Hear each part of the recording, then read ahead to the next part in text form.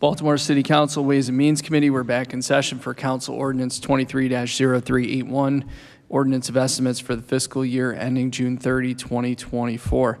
I'm Eric Costello, Councilman from the 11th District, Chair of the committee. Joined to my left by Council President Nick Mosby, Councilman Chris Burnett, 8th District, member of the committee. To my right, Councilman Mark Conway, 4th District, Councilman Isaac Itzy Schleifer, 5th District, member of the committee, Councilwoman Phylicia Porter, 10th District. To my immediate right is Marguerite Currin, staff to the committee. We're also joined by staff from Mayor Brandon Scott and Council President Nick Mosby's offices respectively. A couple quick ground rules before we begin.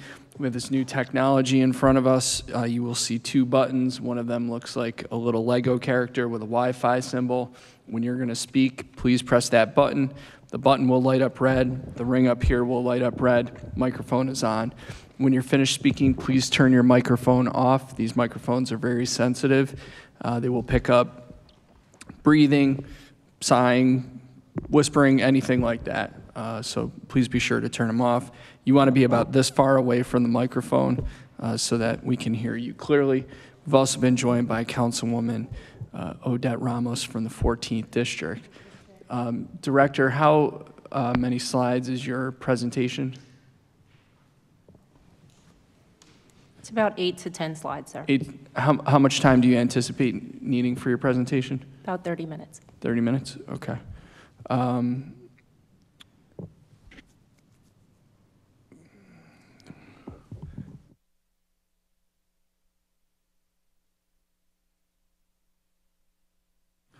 Okay.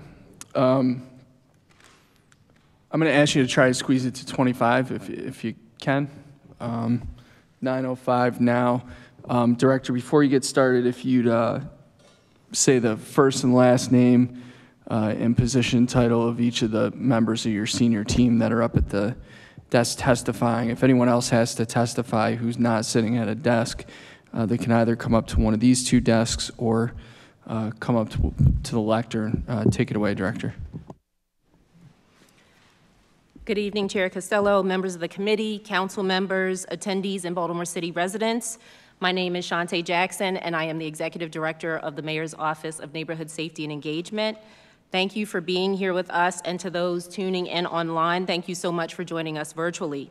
Before I begin, I would like to thank the entire team at MONSE, everything that we've accomplished on behalf of our city and the residents that call Baltimore home wouldn't have been possible without this dedicated, passionate group of public servants. So tonight, I am joined by Chief of Staff Stephanie Mavronis, Gun Violence Prevention Associate Director Marcus Walker, Community Violence Intervention Deputy Director Crystal Miller, Group Violence Reduction Strategy Deputy Director Terrence Nash, Victim Services Associate Director Mark Mason, Intimate Partner Violence Deputy Director Wendy Lee, Anti-Human Trafficking and Sexual Assault Response Manager Tom Stack, Policy and Research Associate Director John Hoffman, Data Analytics Deputy Director Joseph Mulhausen, Finance Associate Director Brianne Young, Grants and Contracts Deputy Director Alicia Sherrod, and last but certainly not least, our Communications Associate Director Sydney Harpsupshire. We join you all tonight all wearing orange in recognition of Gun Violence Awareness Month. We'll move on to slide number two, please. So as we move from the Comprehensive Violence Prevention Plan's framing year into what we call our securing year, Using ARPA dollars and city general funds, we've built out our systems and staffing capacity necessary to both provide proof of concept and to transition our agency's pilot programs toward full implementation.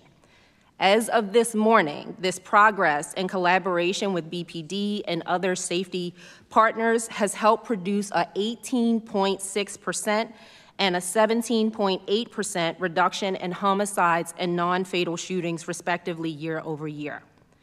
This is the largest year over year decrease since before the death of Freddie Gray. We're demonstrating what's possible when we work to develop a balance of data-driven, nationally proven, and innovative strategies and to bring them to scale to deliver sustainable public safety outcomes for all of Baltimore. And while we've made strides, I want to be clear in saying that this work is not going to be done until we stop losing Baltimoreans to violence. As someone whose family has been directly impacted by gun violence, as someone who's lost friends and neighbors and colleagues to the disease of gun violence, this work is personal to me. It's personal to many, if not all, of the people who make up our team. Despite the fact that I'm stepping down as the executive director of this agency in the coming weeks, I am confident in the progress we have made and that we'll continue to make in my absence.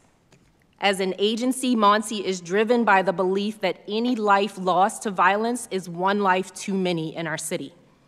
The public servants who make up this agency take this work extremely seriously, and they feel the need from our communities to both enact immediate solutions to co-produce public safety and to build on the foundation that we've created to provide sustainable outcomes.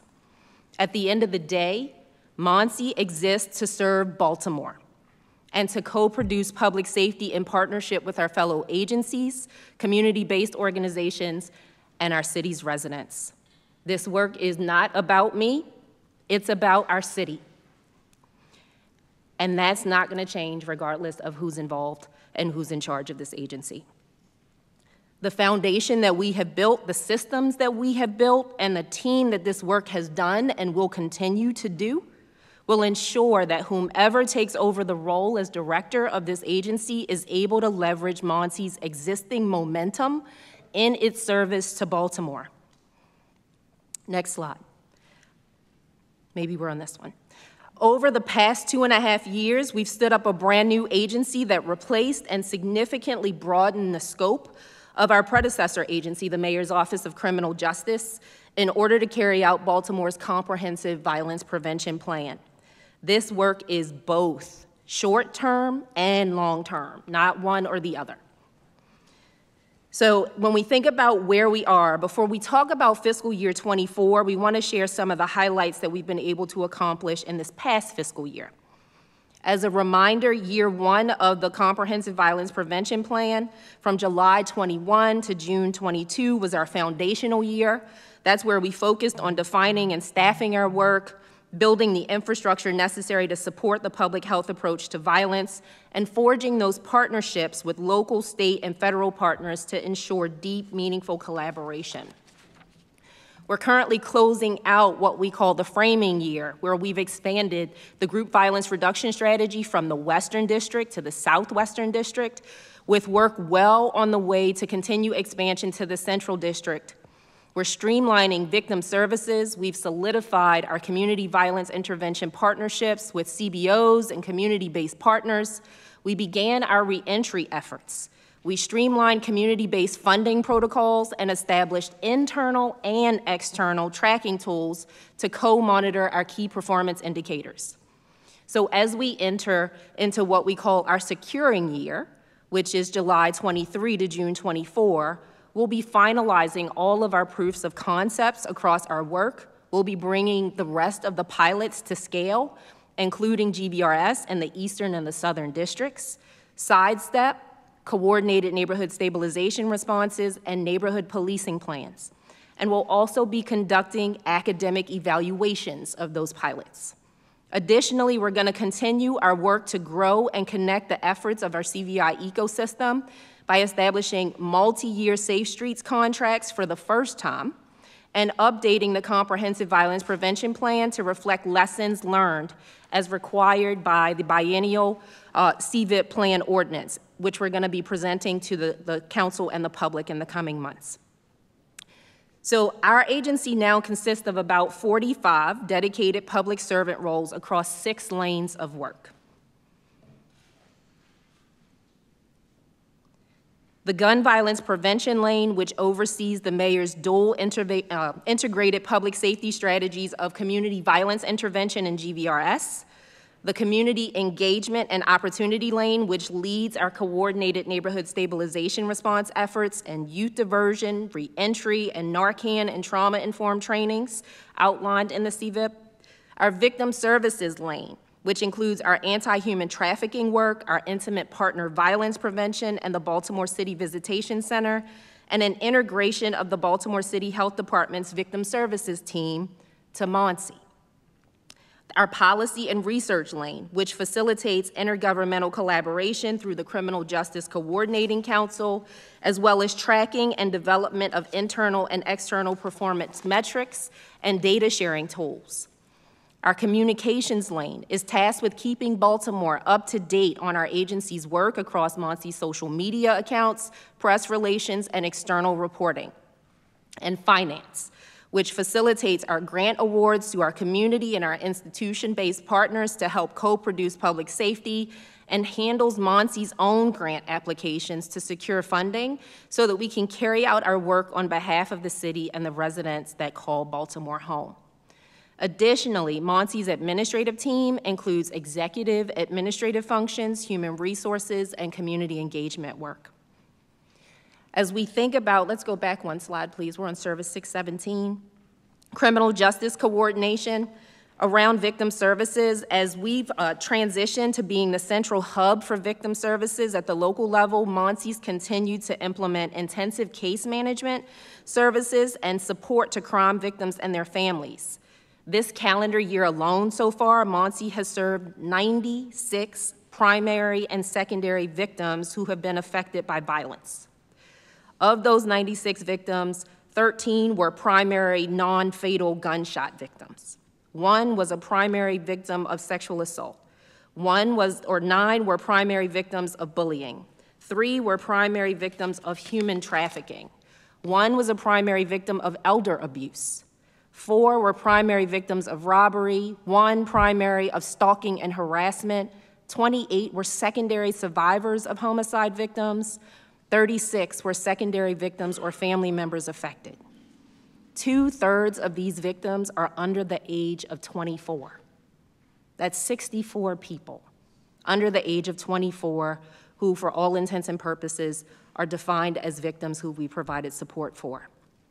Since January of this year, MONSE has assisted with 26 individuals, approximately across six to seven families who needed relocation services by directly providing funds towards security deposits, first month's rent, or subsidy to prevent eviction, totaling almost $59,000. When we think about intimate partner abuse, the Baltimore Child uh, um, Visitation Center uh, in 2023 has helped supervise visitation for 73 families without any altercations and assisted 100 young people and their families who were working to overcome domestic abuse. The Baltimore Child, I'm sorry, the Baltimore City Visitation Center also celebrated 10 years of service this year um, to Baltimore City. When we think about 911 diversion, we've completed a preliminary analysis of 911 call data, a landscape analysis including research on 911 call diversion efforts from across the country, and we've begun to engage stakeholders so that we can lay the initial groundwork for an interagency team. Based on this work, we have identified additional call types outside of behavioral health related calls as immediate candidates for alternative response and we're evaluating these call types to expand diversion beyond behavioral health calls. When we think about the Criminal Justice Coordinating Council, our CJCC meetings occur bi-monthly. Our work groups meet monthly.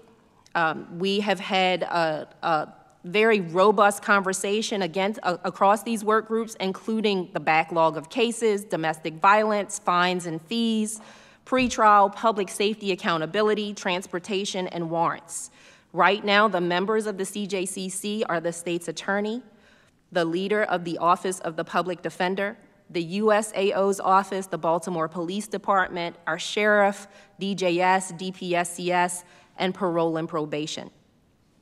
When we think about data and the Public Safety Accountability Dashboard, for the first time ever, folks who live, work, and play in Baltimore have a clear view into what's happening in our city.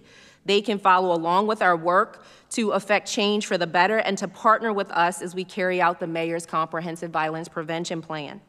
This plan is going to be updated with a second version in August of this year, and the additional data points are going to include warrant information from the Office of the State's Attorney, gun seizures, intimate partner violence data, while also allowing residents to look at uh, data specific to their city council districts and their state legislative districts. When we think about group violence reduction strategy, we do produce internal weekly status reports on GVRS in the Western and the Southwestern District that covers all homicides and non-fatal shooting trends, participant engagement, and arrests. From a Safe Streets perspective, we produce quarterly reports that are available on MONSE's website on our reports and resources page that track data across our 10 sites, including non-fatal shootings, firearm homicides, violent crime, property crime, and mediations. From an intimate partner violence perspective, in partnership with BPD, the state's, I'm sorry, the Sheriff's Office, the House of Ruth Maryland, and the court system, we also track domestic violence incidents and disputes on a monthly basis. And last but certainly not least, as it relates to data, the CVI ecosystem map. So in partnership with the Mayor's Office of Performance and Innovation, we've developed an interactive map to demonstrate our prog progress toward growing and integrating our comprehensive ecosystem. And Baltimore can uh, see that on um, Open Baltimore and really drill into the communities in which they live. For Service 6 18 uh, for GVRS, the status, the status in the Western District is that um, we've, been, we've been really grateful for the work that we've been able to do there since the beginning of the pilot last year in the Western District. Homicides and non-fatal shootings are down a combined 25.24%. We've connected 77 participants to services through YAP and ROCA, and with regard to the Southwestern engagement, since activating GVRS in the Southwestern District at the top of this year, homicides and non-fatal shootings are down a combined 22%, with 14 participants who've been connected to services through our partners. With regard to expansion into the Central District, I want to remind folks that past iterations of focused deterrence, or GVRS, have failed by growing either too quickly or by not being intentional enough about making sure that we lay the groundwork needed to improve outcomes. It's why we're being really intentional about the expansion by making sure that our community partners have the resources that they need to provide those services, by building community relationships to identify those who are at risk, and by making sure the groundwork is in place to not just replicate the successes we've seen so far, but to sustain them.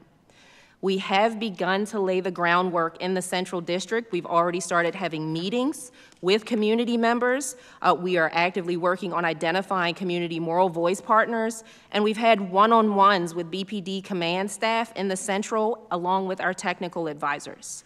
We've already begun meetings with neighborhood association uh, uh, team members around education.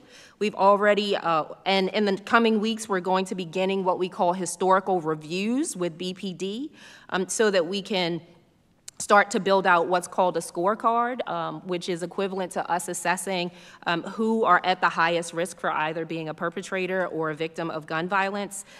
And last but not least, want to remind uh, council members that it is our intention to continue this expansion into the eastern and southern districts by the end of the year um, Northwestern and Southeastern in Q1, Q2 of 2024, and lastly, the Northern and Northeastern by the end of Q2 of 2024.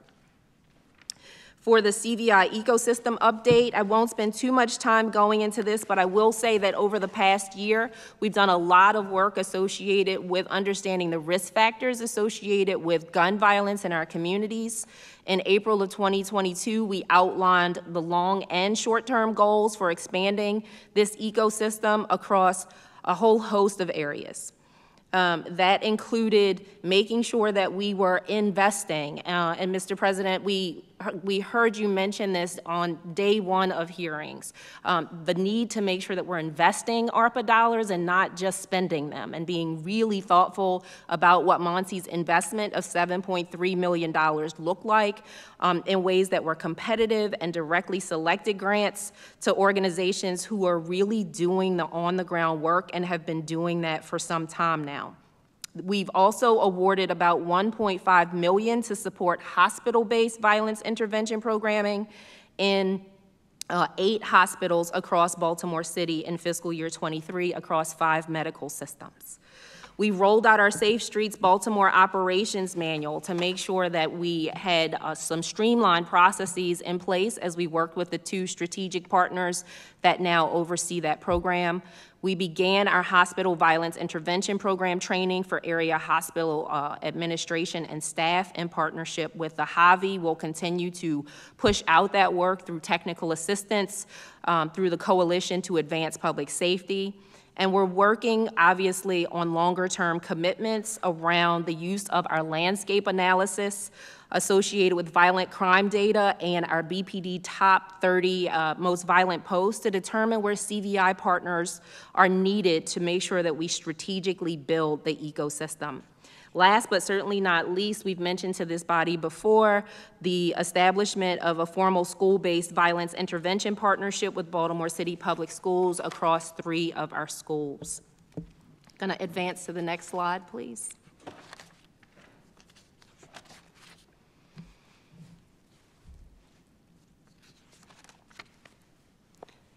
As it relates to community empowerment and opportunity, um, as identified through Baltimore's Comprehensive Violence Prevention Plan, a trauma-informed approach to violence is one that we've also been taking through our coordinated neighborhood stabilization responses. In those responses, we mobilize city resources and community-based partners over a 45-day period to embed those critical, readily accessible resources in communities that experience acts of violence or other traumatic events, both proactively and reactively. Um, this response is informed by 211 data, 311 data, and 911 data to make sure that we're bringing the right resources into communities. And the five uh, activation criteria for responsive um, engagements involve mass shootings, youth involved shootings, police involved shootings, major law enforcement takedowns, and any uh, acts of accelerated violence that require a rapid response. To date, we have activated uh, this response 14 times. From a reentry perspective, updating you all on the Returning Citizens Behind the Wall initiative. This is the first time that Baltimore's directly developed solutions to remove barriers for reentry uh, by our residents. It's designed to connect Baltimoreans or folks who are returning to Baltimore who are about 18 months or so away from returning home um, in partnership with the Mayor's Office of Employment Development and the Department of uh, Recs and Parks. We are actively working uh, with 22 participants right now uh, in this initiative uh, collaboratively to develop a comprehensive recruitment and retention strategy as we scale. We're exploring permanent employment opportunities through employer partners and post-release engagements for participants. It's our ultimate goal to connect 500 returning citizens to employment every single year for the next two fiscal years as we bring the program up to scale. We'll also be announcing a Reentry Action Council in the coming weeks. This board is going to really be working to coordinate government agencies and community-based organizations around a reentry continuum of care that's going to ensure seamless coordination for services for folks who are returning home that is meant to reduce the rate of recidivism in our city um, and to make sure that those folks have advocates. For Service 758, this is the coordination of public safety strategy. This is our administration work. Uh, it is where finance lives. And as we think about grants, so far we've allocated a little over $30 million across 59 grant awards, 30 of which were direct selections, 29 were competitive. It is also the area where hiring and build out of staff capacity to carry out work happens. So in 2021, after the launch of the CVIP, MONSE had 12 team members. We've grown the agency to a staff of over 40 and we're actively working to hire qualified candidates for a couple of roles. The CVI Outreach Liaison, we've offered um, that position out. The Peace Mobile Driver and Outreach Liaison, we're waiting for BOE approval on that. The Reentry Coordinator position is currently vacant. Our warrants analyst position, we've offered that position out, and our Safe Streets Communication Manager, we're awaiting for BOE approval. Director, So- pardon my interruption. Can you repeat the, I didn't quite hear it, the 39 and 50 statistic or data point? What was Yes, that? uh, with regards to the grant award, sir? Ye- Yeah, if you just repeat it, I'll, I'll hold questions till later. Yep, so, so far, we've allocated over $30 million across 59 grant awards, 30 of which were direct selections, and 29 were competitive. Thank you. So in closing, I want to again thank my fellow MONSE employees and our senior leadership team for their dedication to this work. We are delivering results for our city, and the data that we've shared this evening demonstrates the value that this agency brings to our city. Just want to reiterate a couple of results again.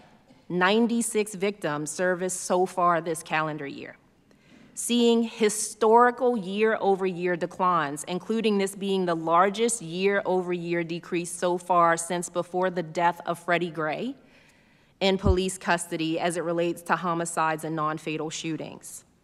Want to thank the mayor for the integrated uh, strategies that are GVRS and CVI. GVRS homicides and non-fatal shootings are down 25.2% in the Western District since launch, down 22% in the Southwestern since the top of the year. And Safe Streets Violence Interrupters have mediated 751 potentially violent conflicts this year alone approximately $30 million in investments in Baltimore's community-based organizations to support the folks on the ground who've always been doing this work. And so while it's with a heavy heart that I'm leaving this role, I know that the team that we have built, the structures we have put in place, and the partnerships that we have forged with local, regional, and national stakeholders will carry this work forward. The team is going to continue to remain focused on our goals to carry out the comprehensive violence prevention plan and work to ensure that Baltimoreans are able to live safe and alive and free. I want to thank you all for listening. Uh, uh, Chair Costello, thank you. Um, honorable members of the committee and of the council, thank you for the opportunity to share this information with you all. And at this time, we welcome any questions that you might have about our agency or our work. Thank you, Director. Mr. President? Thank you, Mr. Chair. I just have one quick question. I guess BBMR, real quick. Um, when you look at the breakdown of like the general funds, the federal, state, special, obviously it's um, overwhelming majority on like grant funds to the organization. I guess at this point, um, you know, the administration is committed to continuing to do this work. When ARPA goes away, uh, and then also the jeopardy of where we are from a federal perspective in, in grants like this, um, how are we planning for the future to be able to properly project out, uh, to continue to um, like like I like like the uh, director said, you know, constantly pushing this idea of, you know, let's invest the money, not spend the money, but ensuring that we can continue to see the residual effects on these investments uh, in the in the future. Certainly. I think um, one of the things that the um, uh, administration and the, the more the mayor's office of recovery programs teams has really emphasized around the ARPA dollars in particular is making sure that we're doing evaluation on all these different strategies that we're trying so that we can really understand what's working and, what, and what's showing you know positive impact and outcomes in our community. Um, one of the things that I think will be very important as we go into the wind down of ARPA in particular is to look at everywhere that we've been making investments with those ARPA dollars and to figure out where we're really seeing positive impact in our community so that we can be really strategic where we need to continue those investments. Because the reality is we won't be able to continue everything that we've been able to do with ARPA. But if we're able to sort of look at things holistically, we'll be able to make the most uh, strategic decisions. I think outside of ARPA dollars, one of the things that we're um, continually focused on with agencies and something that I'll be increasingly focused on as I, I move into my next budget with you all is really looking at our um, looking at agency grant awards and really understanding those grant awards in terms of what's stable and what's reoccurring and what's temporary and one time so that we can do a better job of talking, you know, of really understanding here are these reoccurring dollars that are, you know, we can depend on because of a formula, whatever the case may be. Um, and then again, we can be really thoughtful about how we leverage general fund dollars um, in these agency budgets that have a that have a grant component. Thank you. Because I guess the, the concern is, um, I think 14, uh, like 14 million out of 22 million is grant funds. So again, um, to your point, it's like, what are the goals? What are the objectives? What are the key performance indicators that we're tracking to ensure that one, we're staying on track to identify, you know, what's the low hanging fruit, uh, where we get our biggest bang for the buck. So that's the only thing I get concerned and get really scared when you look at the operating budget of something like MONSE um, that is growing, growing, growing, doing really good work. Uh, but then also, how can we ensure that we're going to be able to sustain it in the future? And if not, what are the things that we're doing right now to ensure that, again, uh, the things that we feel like are critical and are, are really important and needed, uh, that we figure out a way to invest in the future? Yeah, I think that's. Mr. Chair, thank you. Thank you. Uh, Question for BBMR, under Service 617 and 618, there's an unallocated appropriation of 1.5 million and 2.5 million respectively. Can you advise as to what those are? Those are anticipated grant awards, um, either uh, state or federal, um, where they, um, you know, they're not necessarily tied to a specific grant, but they're, um, eh, they're tied to anticipated f- funding that we would receive uh, post-adoption of the '24 budget. Got it. In the positions total under MONSE, we've got 21 positions. How many positions are in that, in the agency? So there's 21 positions total in Mon, in the agent, in the MONSE budget overall. Um, And then if they're spread, ac- if you look at page um, 156 of the budget book, I'm sorry, let me, let me ask the question a different way. Last year, at one point, there were 33 employees at MONSE, correct? Oh, um, the count that you're seeing in the budget document would not include any ARPA-funded positions. So the 33 would have included uh, the portion of the, um, of MONSE's po- uh, position count that um, are ARPA-funded. Do we do that for all agencies that have ARPA-funded positions? Yes, and that is tied back to the decision that was made to fully appropriate the ARPA award in that one single budget. Um, We, so in order to prevent double appropriating the ARPA dollars, we have to, um, all of the ARPA-funded positions live in the budget as a, a salary-saved position. Are the salary saved positions noted anywhere in the budget book? Um, They, they are not, but that would be, that would be a, um, information that I could provide to the committee as a follow-up. Can you tell me how many positions there are currently at MONSE between the 21 and the ARPA-funded positions? Um, I can if you give me just, Absolutely. yes, one second. Take your time. Mr. Chair, we have 20 funded ARPA positions. So you have a total of 41 positions, 21 funded by general fund and federal f- funding, and then an additional 20 funded by ARPA? And then an additional four. As I mentioned um, earlier, we have 45 positions. A couple of those have not been uh, approved through BOE yet, but they have also, they're grant-funded positions that have been uh, awarded either at the state or federal level. Okay, so those additional four are not reflected in the book because they haven't been awarded yet? Correct. Right, but they're anticipated. Yes, sir. Got it. What's the, what is going to be the apex of the total number of employees at MONSE? What is the, the, what's the sweet spot?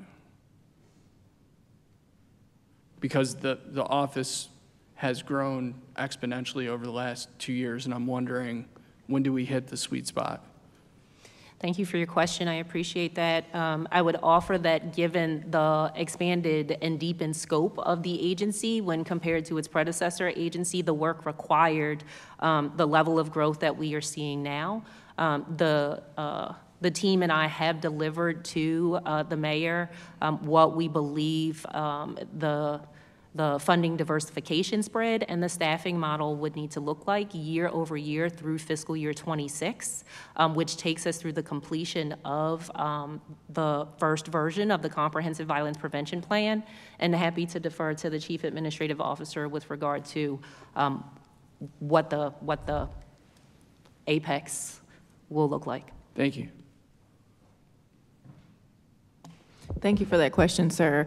Um, I concur with the director that um, I think the growth that we are seeing in the organization um, is because a number of the services that we're bringing um, uh, or that we are delivering through the organization. So the director talked about how we are now centralizing some things like victim services, um, which were spread across the city, and we're trying to centralize them in one key location. And so that's also going to require that we um, that we bring a different additional staff to support the work um, very similarly, the work that we're doing around returning citizens, for example. Um, so, given the expansion of the work from the predecessor agency, I think you know where we are now with the organization, and, especially because um, we are bringing in additional resources to support these positions, um, that they are delivering on the mandate of the office. I can't say um, the maximum amount, but I think where we are now with the agency is a it's a sweet spot. I think the team is actively delivering on the mandate and the work in front of them. Um, and if we need to expand, I think we will, you know, evaluate the need to expand beyond what we're doing now. But again, I think the team over the past year, uh, couple of years or two years is now in a position to deliver on the an array of services um, that they're currently delivering on. Thank you for the response, CA Leach. Um, Can you provide a specific response as to what MONSE has proposed to the mayor and his team would be the, the full build-out by fiscal '26, what that number of staff is? Sure. Um, I will have to go back to see uh, that there is a document that suggests any specific number. So I'll go back and determine. Okay. Is that document uh, something that can be provided to the committee? I will go back and, and check to see what document might outline that type of information. Got it. Thank you so much. Nate, got that? Thank you. We're going to go to Councilman Burnett and then Councilman Schleifer. I just want to thank you for your service, Director, um, and your leadership in transforming this office. Uh, it looks entirely and is operating at a, a greater capacity than I could have ever thought uh, when I first came into the City Council, and the office is more like a sort of a place to get data on crime, and sort of that was really about it. Um, and so, just thankful for you and your team and the hard work that you all have done in building this out.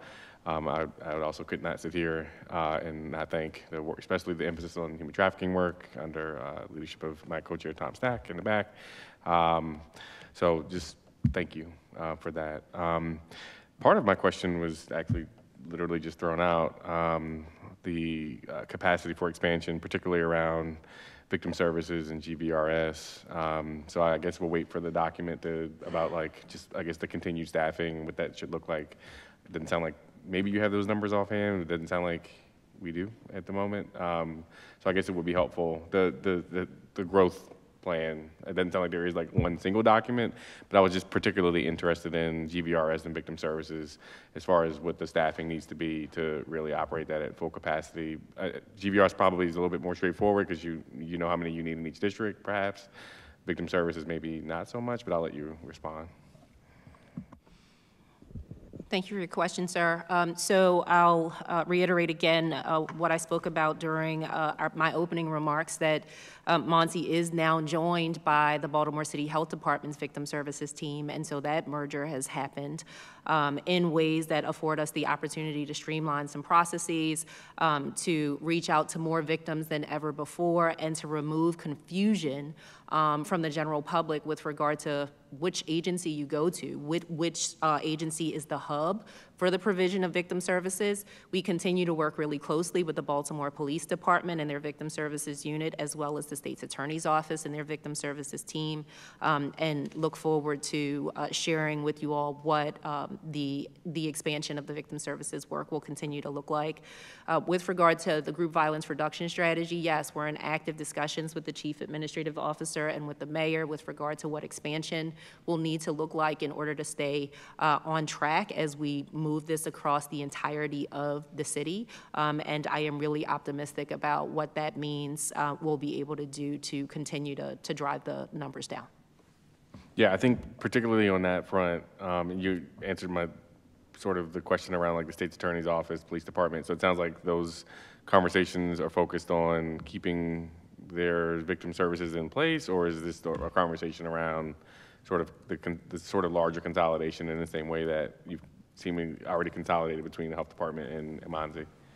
So I would um, remind members of the committee uh, that we are still working diligently to uh, make sure that we're stepping through the assessment associated with the PSP Victim Services report that came out uh, well over a year ago now, and doing that in a very coordinated way, quite frankly, um, um, in ways that we haven't been able to do in the past because of the sheer um, volume of partners that needed to be involved, from community-based partners to agency partners. And so we haven't yet uh, determined um, what a, a consolidation would potentially look like. What we are working through right now is what does the integration of our work look like that leaves MONSE serving as the centralized hub for victim services and making sure that we are directing um, those that we're providing supports to to the appropriate agency. Got it. Thank you. Thank you, Mr. Chair.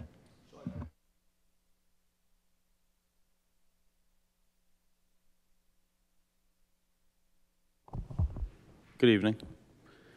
So uh, we were talking about year-over-year reductions on crime. So now that we're halfway through the year, do you have an anticipated reduction of what you're you're planning to see on the homicide rate? Thank you for your question, council member. I think in the, the opening remarks, we did um, share with the committee that where we are right now is at 18.6% uh, year-over-year reduction in homicides and a 7.8% a year-over-year reduction in non-fatal shootings. And want to say again, um, not just for the committee, but for Baltimoreans, we've never seen this percentage of, of, of decrease um, since before the death of Freddie Gray in police custody. And so we are breaking years-long records. This number is as of 531.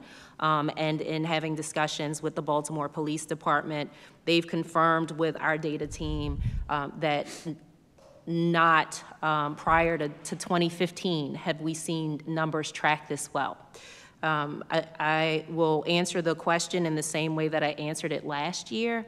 Um, I think that it would be imprudent of me to project what the final number would be at the end of the year, and at the same time, we are working relentlessly in partnership with anybody and everybody that wants to partner with us to drive down our violence numbers um, in ways that are demonstrable um, to date and will continue to be.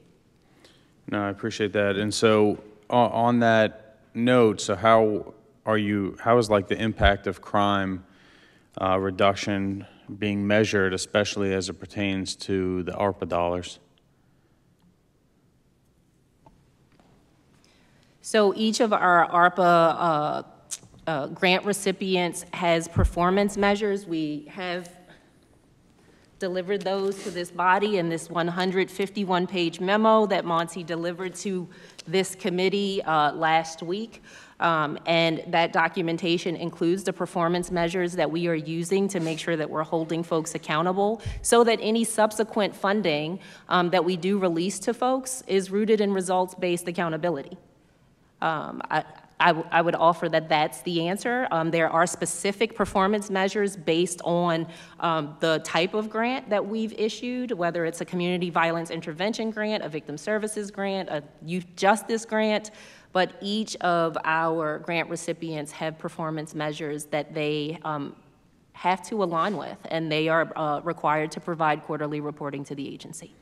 Okay, thank you. So, I mean, I was like looking a little bit more like high level in terms of you know, you're talking about the, this money being invested. And so, in thinking about what the return on investment looks like, you know, each individual group, and, and I read those reports, so thank you for sending them, uh, but each individual group is not, you know, can't solely be responsible. So even if each one is performing overall the overarching strategy, uh, that's what I'm looking to just learn a little bit more about uh, based on the sum of all these parts what should we, how should we measure the return on investment? How do we look in next year or year after? Uh, do we determine if this is being successful or not? Because as uh, the chairman and the president were saying before, you know, in, in two years when that money runs out, there needs to we need to decide is that something that we continue to uh, invest in. So, what does that overarching return on investment look like? I would offer that your question is a multifaceted one, um, and, and I appreciate the ask. Um, the mayor's been extremely clear with regard to his goal of a reduction of 15% of homicides and 15% of non-fatal shootings in our city, and that is probably the key measure for success across the entirety of the Comprehensive Violence Prevention Plan. But I want to make sure that I remind this body that there are also other desired outcomes and impacts associated with this plan. That we are truly improving the life outcomes of folks by reducing recidivism rates. Um, for our GVRS participants, for example, we've only seen a, seen a recidivism rate of 11 percent. Um, we are uh, taking our job very seriously with regard to keeping people safe, alive, and free. We're keeping, we're taking our job very seriously to make sure that we're providing victims and not just uh, primary victims, but secondary and tertiary victims the level of supports that they need so that they are not re-victimized, um, but also so that they don't become victimizers, right, or perpetrators of um, victimization. And so that high level, level number um, connects back to what the mayor um, has stated is the overarching goal. There are underlying goals that I would um, ask this body to consider in two years to determine which programs uh, make sense to continue to fund and which ones don't, and MONSE would be doing the exact same evaluation. In fact, I personally had conversations with community-based organizations who've expressed interest in subsequent funding and have said to them, let's take a look at what your quarterly performance numbers and your outcomes and impacts look like. Okay, so no, so I appreciate that. So if I understand correctly, now that we're seeing reductions going on, and we're starting to see some of the fruits of the labor that you're mentioning. So is this year, like the first year, we should expect to see that 15% reduction?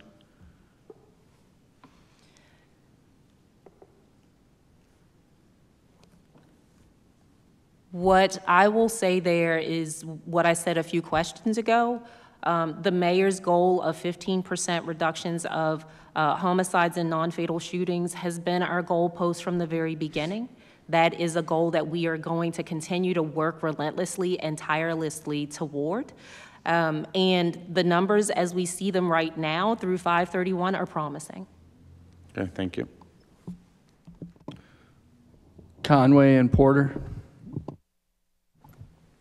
Thank you, Mr. Chair. Thank you, Director. Um, uh, actually, my, my first question um, is actually to a CAO. Um, and, and, and, thinking about how important the work that this office is doing, um, of course, thinking about leadership for the office, do we have a sense of the timeline for uh, replacement and either uh, a decision or some leanings toward an interim until we do fill the position?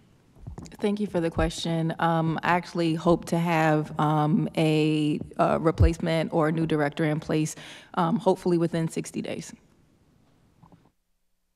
And an interim? We will name an interim. Thank you.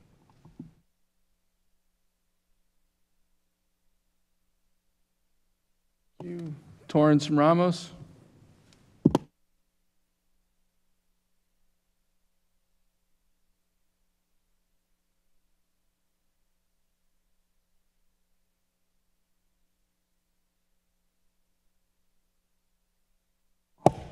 Good evening, Director. Um, my line of question is going to go back to GVRS because intimately I have most of the Western District, so I've seen the reductions. My question related to GVRS in which is kind of hard because knowing the stories that I've seen from people who have entered as participants and then seeing the actual data, my question is now that the Western District will now be a part of redistricting, how are we going to coordinate as this palette expands?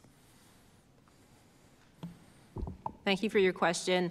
Uh, This is something that we've been talking about for some time now since uh, uh, we decided that we were going to be redistricting across the entirety of the city, having not done it in well over five decades.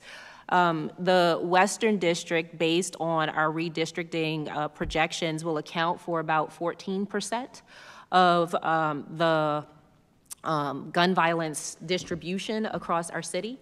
As we um, uh, combine the Western District, the uh, Southwestern District, and the Central District and scale up, that means that we go from accounting for 14% of uh, the group violence distribution across our city to what will become a projected um, 39 to 40% projection. And then as we spread into uh, the other two districts, the eastern and the southern respectively, covering about 64% of the city's projected um, distribution of violence. This is based on what those violence distribution rates looked like in October of last year as we were stepping through the conversations around redistricting. Uh, we uh, work closely with the Baltimore Police Department, and they are uh, well on their way to getting us uh, closer to that redistricting, uh, including the resectoring being completed in the coming weeks. Thank you, Director. Uh, So I just want to highlight something in questioning related to how this is different than traditional policing. Um, I would like to highlight a story related to the CBT, the cognitive behavioral therapy, because what I've found from hearing the stories of participants is that we're changing participants' mindset. And can you speak to the services that help them with changing their mindset? Yeah, I think that this would be an opportune time for Baltimoreans to hear directly from the Deputy Director of the Group Violence Reduction Strategy to answer that question, um, because as the Executive Director, I don't do this work alone. Um, and I, I think that Mr. Nash would probably be more appropriate to, to share uh, the impacts of cognitive behavioral therapy.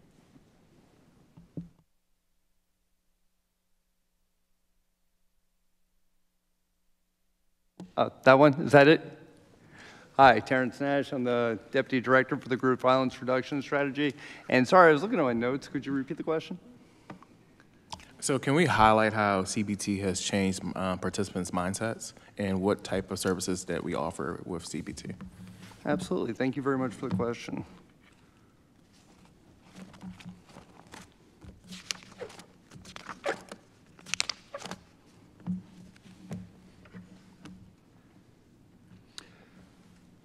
So just to start with, out of the uh, 88 individuals that have, are are receiving services, 60 uh, are actually getting CBT.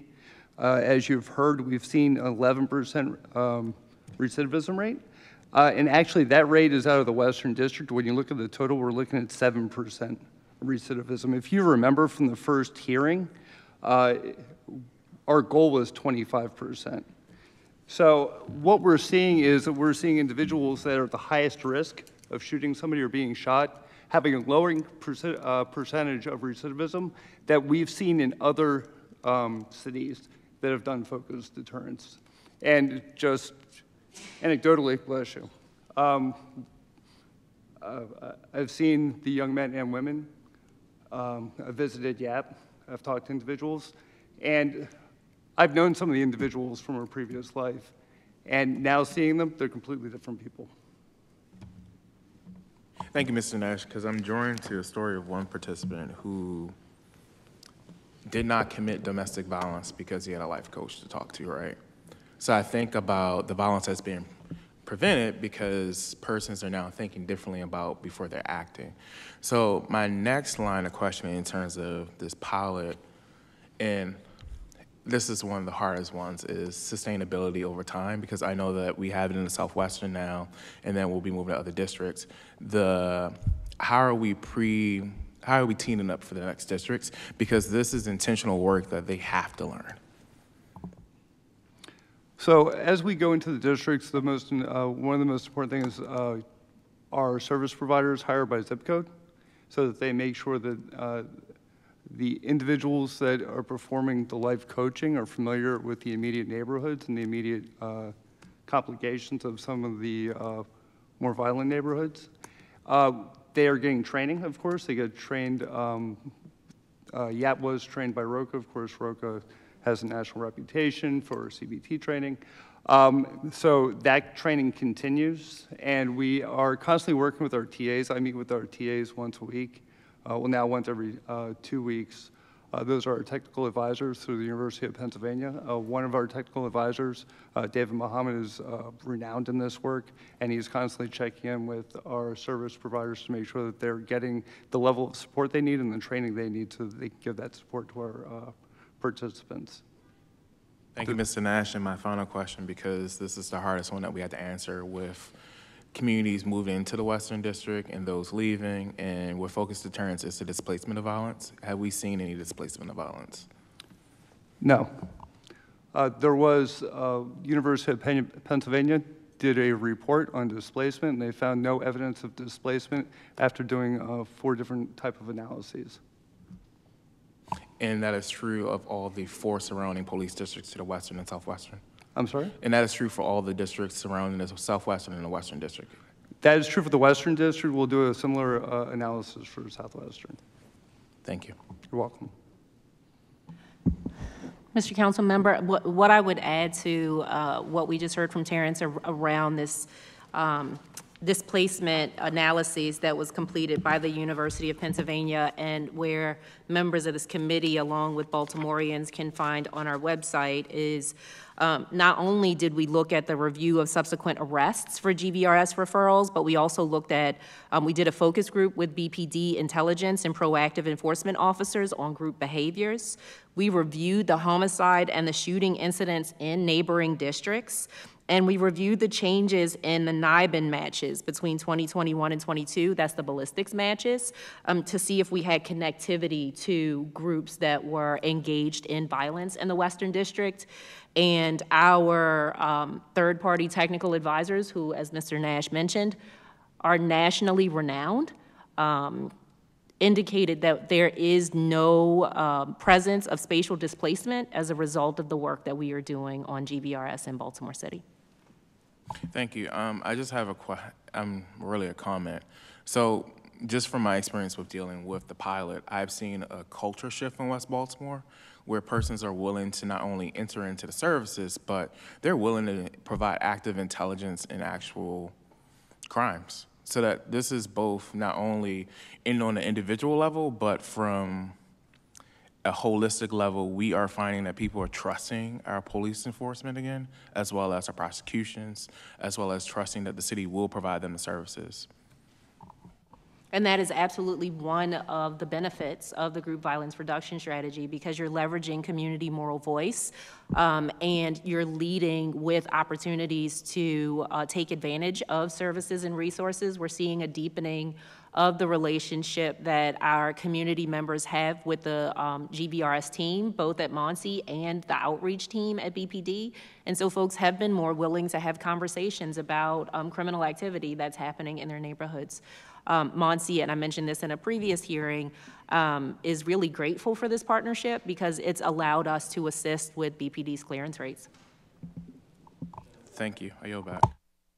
Thank you. I, I appreciate the question that the councilman had, because this is sort of something that I've, um, haven't been able to wrap my head around. And I remember we had a conversation in committee about it in particular. Um, the question of displacement um, versus resource pull. Um, and essentially the question that I, I had then, um, and I still have now, and I wonder if we've had any more ability to answer that question is, um, does the program's intensive resource pull on the police department have any impact on other districts' ability to respond and to anticipate and to interact with criminal activity in their districts? Uh, most notably because um, we did see significant decreases in violence in the western, the southwestern, and the surrounding areas. Um, but we saw very significant increases in the northeastern district and the southeastern district over the last couple of years. And I, I'm still trying to wrap my head around it. I'm, I'm really curious if um, we've thought about that as a team since that hearing, uh, and if we have any, any better sense of the resource pull for running the operation. Thank you for your question. Um, I'll, I'll start with an answer here, but obviously would defer to um, the police commissioner tomorrow um, to supplement uh, my answer. Um, the, the beauty of the group violence reduction strategy is that um, it benefits surrounding neighborhoods through what's called a diffusion of benefits. Because groups tend to be hyper localized in the neighborhoods in which they exist, um, us reducing violence in the Western District, for example, um, many of you may recall we did a, takedown of Poe Homes and Princess Plaza just a few months ago, um, would not uh, result in us seeing an uptick in violence in the Northeastern District because folks are not leaving Poe Homes, if you will, and going from West Baltimore all the way over to Northeast Baltimore to, um, to set up shop. So your question specifically around BPD resources, because we took their capacity into consideration, um, we focused right now not only on areas that have the highest level of group violence, but also areas that have BPD capacity through their district action teams. And so leveraging those um, districts that have more than one DAT has afforded us the opportunity to not tap into another district's uh, resources in uh, focusing on that work. Uh, and I, we may have to get into this in a little more detail tomorrow, but um, I think it's particularly that issue. So when looking at the Northeast, for instance, we've seen a significant rise in crime last year and this year, and a, rise in crime after, you know, like an 80% increase in crime from last year.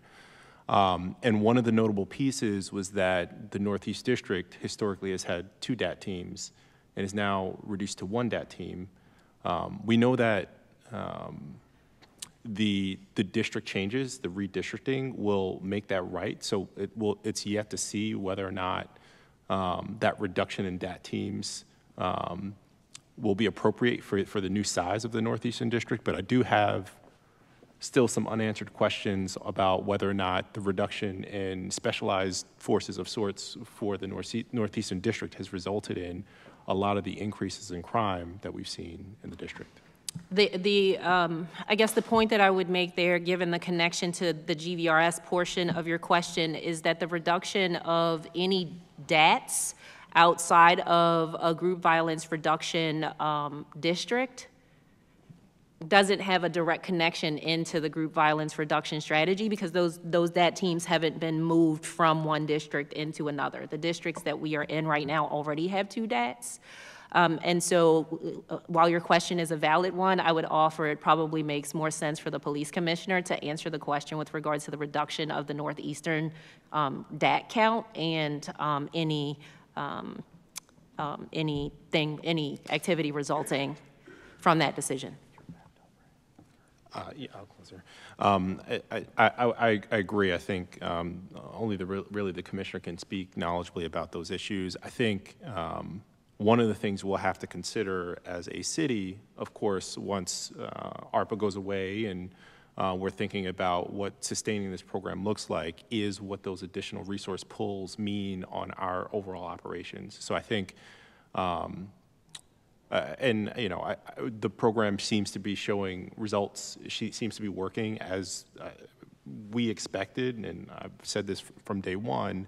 Um, but in thinking almost scientifically about the impact that the decision to support the program has on other districts or other programs based on police police's ability to, you know, show up um, and show out. So I think that's something we'll need to think about, and I, you know, this team, MONSE, will have to think about the, in, in partnership with the police department.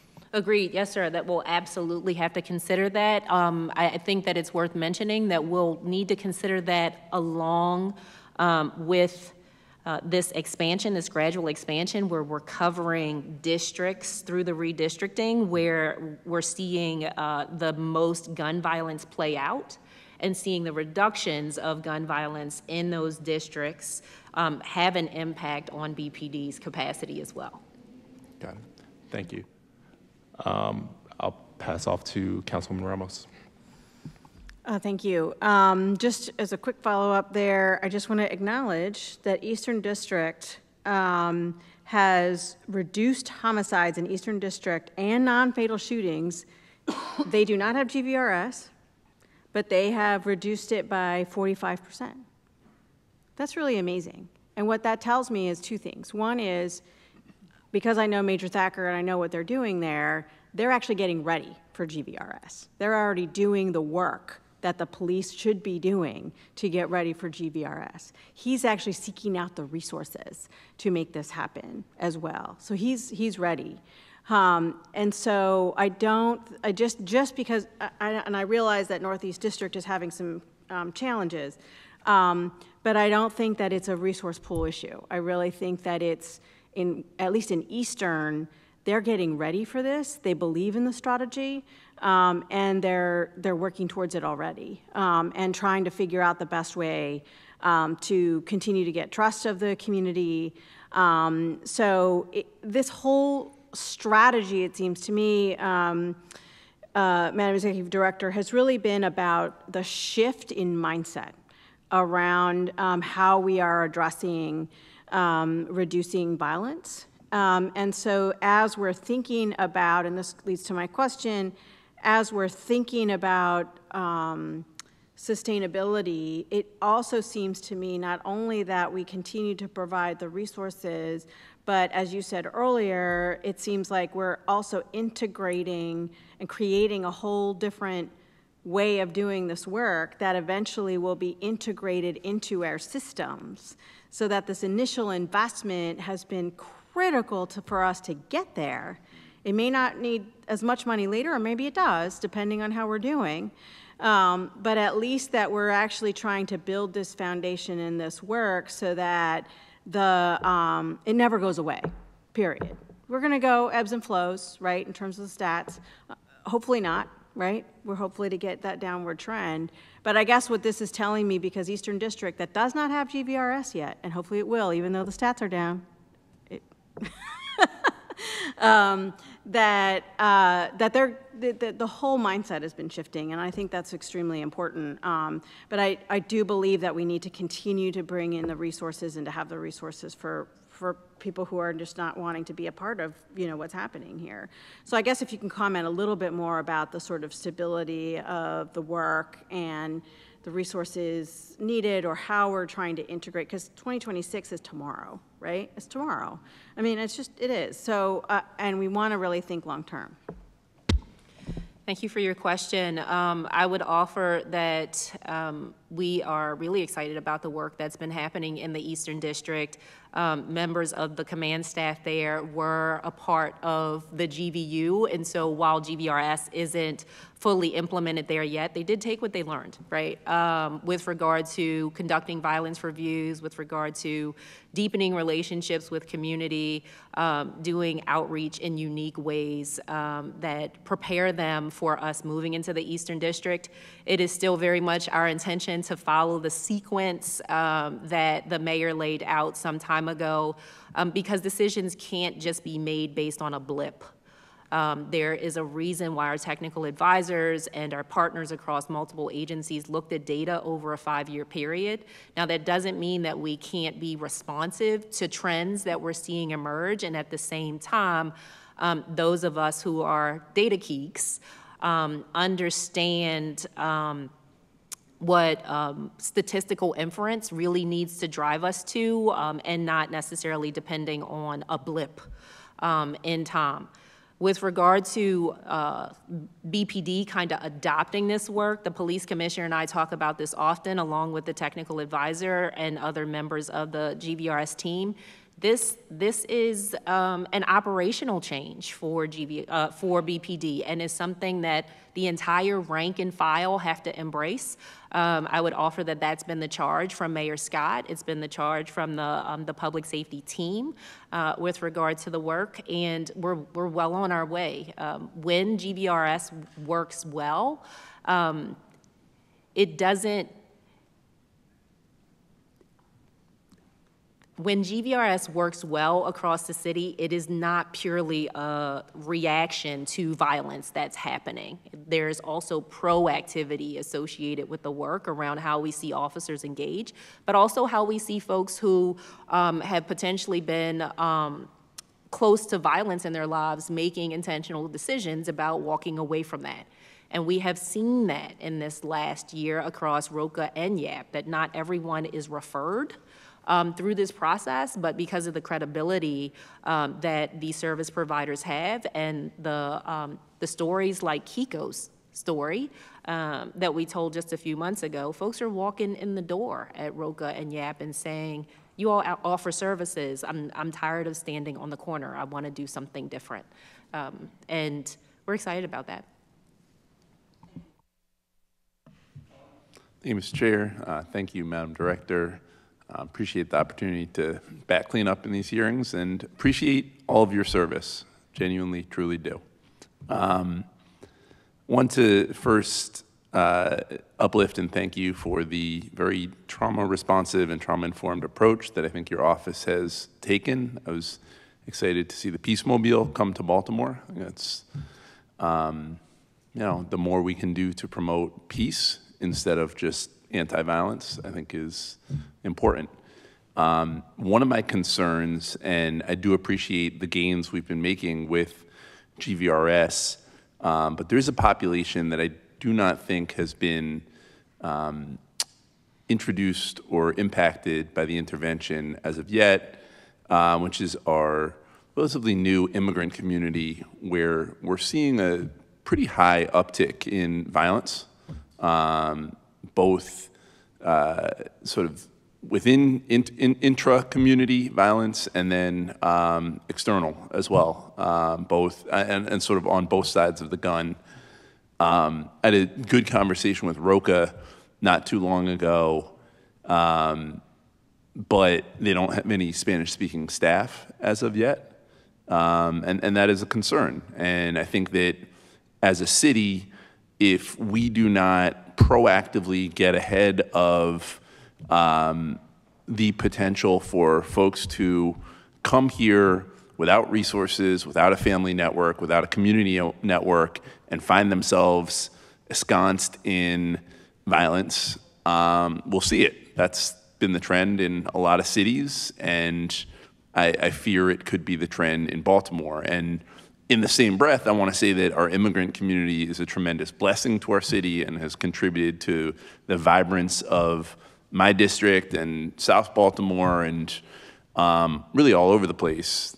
But I, I worry that we're at a bit of a tipping point and that I haven't heard much within sort of the MONSE framework to specifically address our new arrival community. So I'm wondering if um, there's a piece of this, because I know that GVRS is coming relatively soon to South Baltimore, but not for a while to Southeast Baltimore.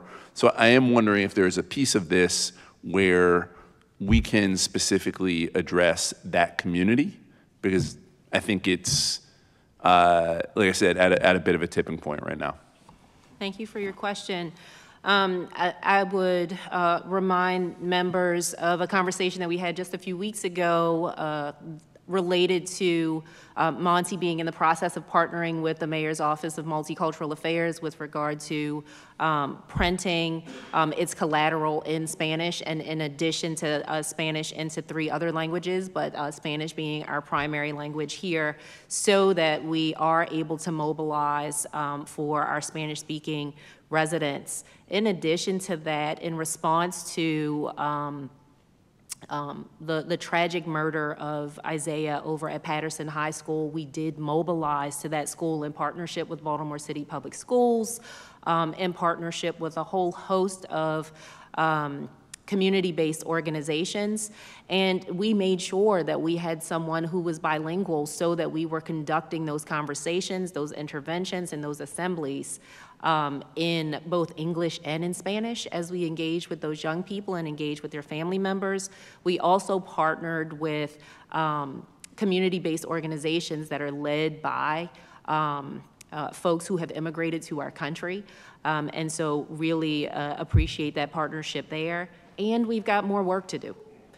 Um, So I would say that over the coming months, uh, we will make sure that we are engaged in more meaningful ways uh, with regard to the education of what the group violence reduction strategy is for that population, um, but also through our, our school-based programming on the community violence intervention side. We're going to be entering into three high schools that have um, a level of diversity across those three schools that is going to require us to um, be really thoughtful about what language access uh, looks like so that we're, we're reaching um, folks in ways that feel unique and authentic to them. No, I appreciate that. And again, you know, appreciate partnership with MIMA and uh, other entities. I just think we have to go deeper. Um, you know, just like any community uh, in our city, we just have to make sure that we are engaging effectively with the credible messengers, um, the folks like Lucia Islas, who runs Comité Latina and does so much in our communities. Uh, there are just so many folks who are kind of on the ground leading the work, and I don't know if they would say they feel connected yet to the MONSE strategy, um, but I think that they absolutely need to be. I did want to ask in the same kind of line about the school-based interventions. Um, I unfortunately did not see Patterson on that list, but I do wonder, um, I, I, appreciate the sort of push in that you all have done um, after the murder of Isaiah and other folks um, outside of our high schools, um, but just the sustainability of those interventions. Um, you know, I think what our kids often see is like adults flood the zone when there's an act of violence and then they leave. And as we know, the trust is really important and developing long-term relationships is really important. And so I wonder about both sort of the sustainability of those school-based interventions and how it becomes not just like us reacting and responding when a horrific incident occurs, but actually like building those relationships long term, because I think that's what our kids need. And then also just, again, linking into existing infrastructure around restorative practices, around the student wholeness framework that exists within city schools. Like, how are we plugging into those? Yeah, thank you for your question. Um, so Patterson is not on the list of schools that will be a part of the initial uh, school-based violence intervention pilot. Those three schools are Mervo, Carver, and Digital Harbor. Um, across a two-year period, given some funding that MONSE uh, uh, received from the National League of Cities. And at the same time, MONSE is charged with making sure that we're being responsive um, in a trauma-informed way to our community when our communities need it. And so whether um, a part of the school-based programming um, pilot or not, uh, we would be doing our city a disservice if we didn't respond to um, Benjamin Franklin and didn't respond to Patterson and didn't respond to Edmondson and, and the whole host of other schools that we've responded to um, this year. To your point around making sure that we don't just helicopter in and leave, um, we're very intentional about the partnerships that we create when we go into those schools. And so THREAD is a community-based organization that is in um, Patterson High School. And so making a connection with Casey to understand what the work looked like for um, both the English speaking and the English as second language um, speaking population there um, asking additional questions of the Community Engagement Office at Baltimore City Public Schools around what that looks like, and even providing some recommendations based on what we saw when we were in the school um, is a part of the work. I would offer that in this way, MONSE serves as the coordinator of um, bringing community-based organizations, city agencies, state agencies, other quasi-agencies together to deliver services because we are not the direct service provider for everything. Um, we are intentionally an agency that is meant to provide um, direct services as an ancillary support to community-based organizations while providing community-based organizations with the capacity, the funding, the supports that they need in order to self-sustain. I appreciate that. Um, thank you, Director, Director Jackson. Thank you, Councilman. Um, this is for the budget director. Um, Can you tell me what the salary is for the director position at MONSE, please, currently?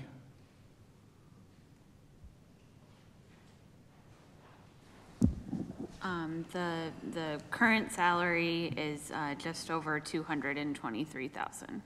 And the reason it's listed as about 208 in the book is because the book was developed before, at the time the book was developed, uh, the salary was 208, right? Or 202?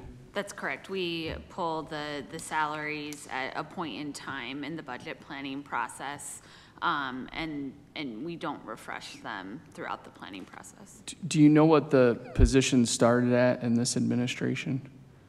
Um, I, I, I want to verify that, um, I believe that the, the starting salary for this position was, uh, one ninety-five. Thank you.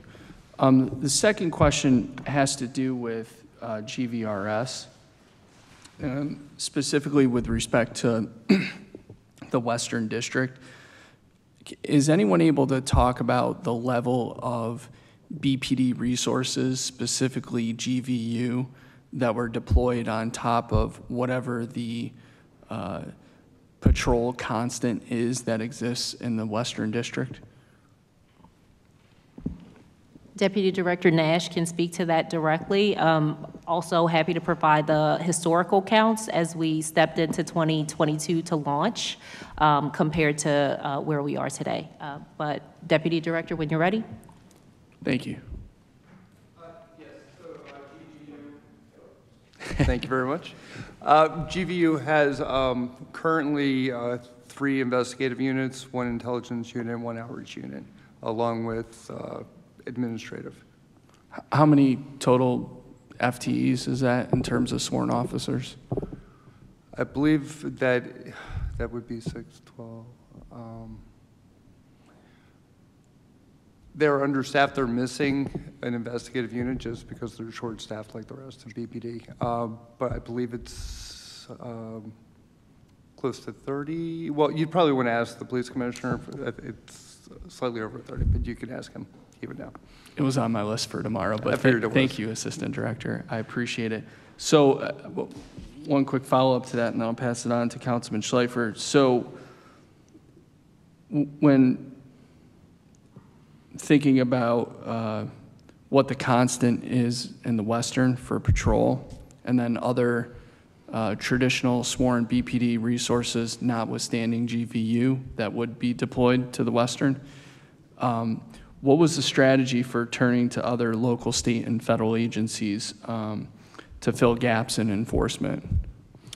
So uh, we have a couple things there. So we are in regular communication with the U.S. Attorney's Office, also the Attorney General's Office.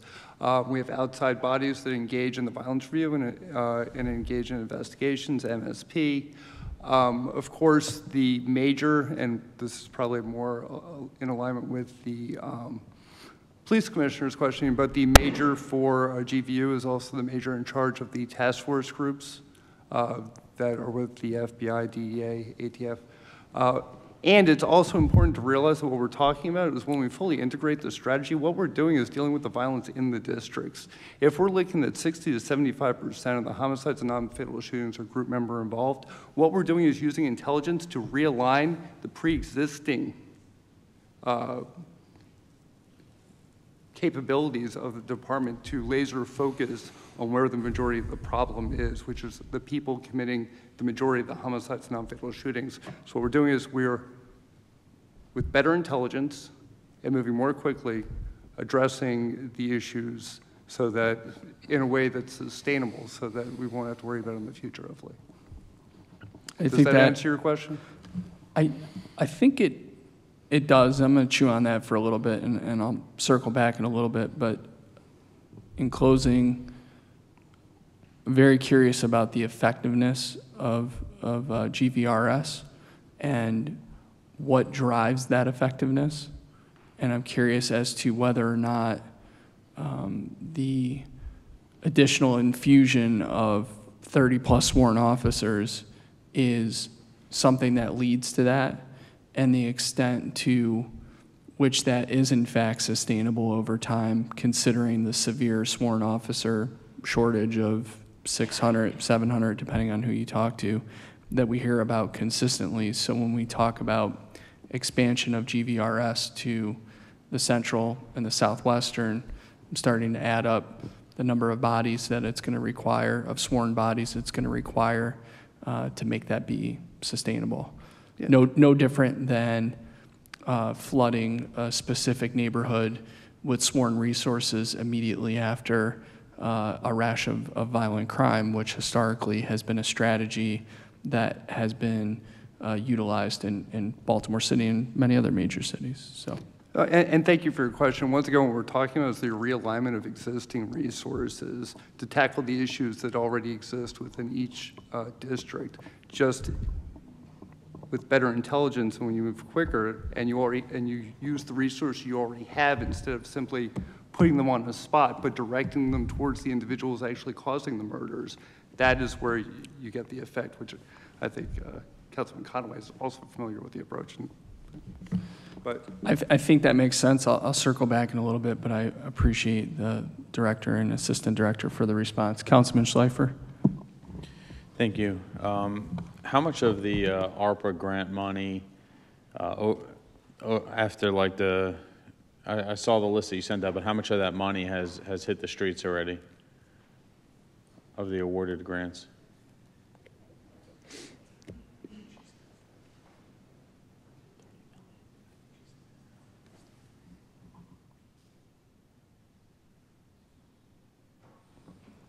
Councilman, one clarification point. When you say hit the streets, are you talking about the amount of money that's been expended to organizations or awarded to organizations? No, so I know the amount that's been awarded because it's in the report, just as far as how much has already been distributed.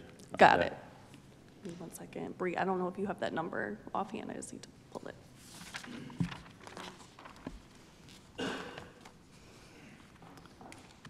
Thank you for your question. Um, So out of the, uh, the money that has been um, awarded, uh, we have received two, um, just over $2.3 million um, invoices, and about $1.8 million has been paid. So about 76% um, of what we've received in invoices has been paid in those ARPA grant awards. Gotcha. I'm sorry, can you just repeat that again? So how much was awarded and how much has been, been paid out? Uh, So I gave you uh, the amount that we've been invoiced for um, out of those grant awards, which is um, just over 2.3 million, and we have paid out uh, just under 1.8 million. Okay, So- thank you. And um, how much is, uh, is left to be awarded?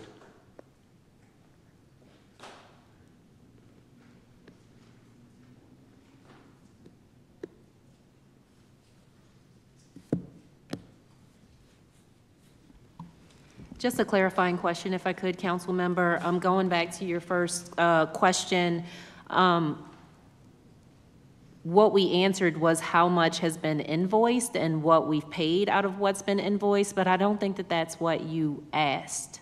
No, no, Is- that's, yeah, that's what I'm looking for, like how much of it has actually gone out, so. Ah, okay.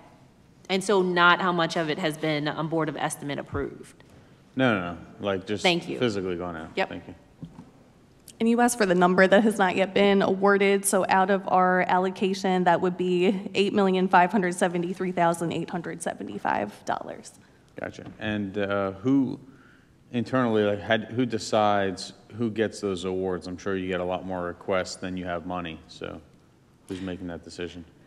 Sure. So the first thing I would say, um, and thank you for that question, not every dollar that we have in our ARPA allocation is meant to be a grant award. Um, There are some service providers that were selected at the initiation of our ARPA portfolio who were strategic partners with the city. So whether we're talking about youth advocate programs that plays a role in the group violence reduction strategy or others, um, these are not all dollars that are going up for competitive awards. Um, But with that being said, the dollars that remain to be allocated, a fair number of them in the reentry category um, and also the youth and trauma category will be um, allocated as competitive grant awards. So on MONSE's website, um, we have a competitive grant portal. We're continuing to accept letters of interest and applications.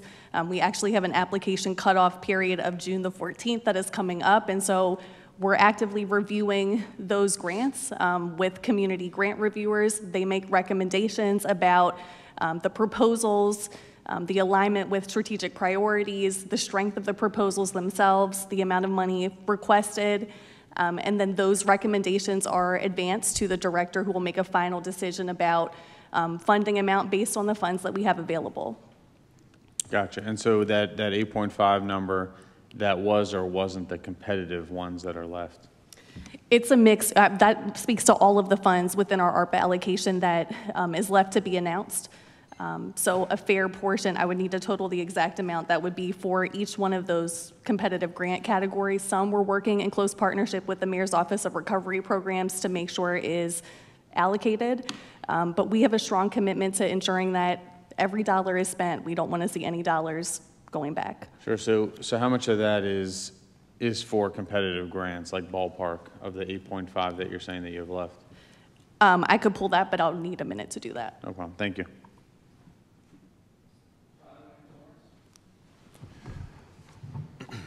Thank you, Mr. Chair. Um, One of the things I noted in the, uh, in the budget was the number of GVRS participants. Um, Our actual for 2022 is 40. Um, Our target for 2023 is 75, and our target for 2024 is 100. Uh, I'm curious, knowing that we plan to expand, expand the program um, into multiple districts over the next year, what we expect to be um, realistically and actually our participants in the program, and then even more, what the um, expected resources are to fully support folks in that program will be. And uh, just for, for uh, to find yourself in the book, it's um, page 160.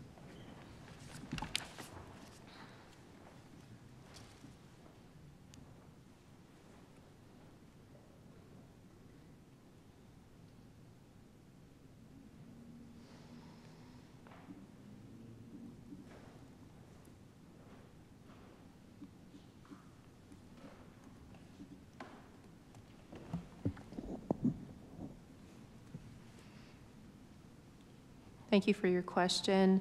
Uh, With regard to the allocation of 40 for fiscal year uh, '22, that was associated with the time period in which we had entered the pilot. um, And um, I don't know if my recollection serves me well or not, so I'm going to ask for some grace here. I don't know that I was involved in that number. I think that that might have been projected before um, I, I took the role. With regard to fiscal year '23, um, this target of 75 individuals um, across the two districts um, uh, speaks to the number of GVRS participants um, associated with either ROCA or um, YAP who have sustained their participation.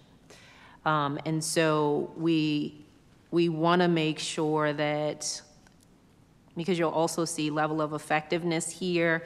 Um, these performance measures are kind of intertwined, if you will, um, and so this effectiveness measure around the percentage of GVRS participants who don't recidivate um, with that target of 75% um, does directly connect to this output measure of the number of GVRS participants, and that if we see um, recidivism while they're initial participants, we wouldn't we wouldn't necessarily consider them, you know, in the program. for lack of a better way to say this, successful um, with regard to um, the level of engagement here.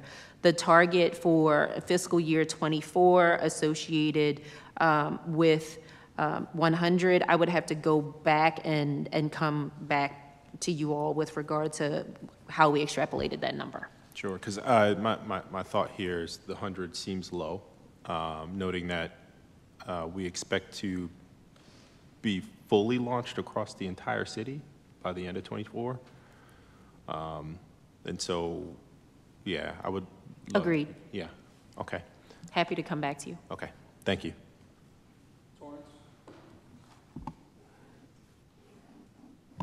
Thank you, Mr. Chair. Uh, My question is related to the Behind the Wall initiative. Can you provide us a status of the um, plans that you're putting in place for a number of persons and your coordination with the state?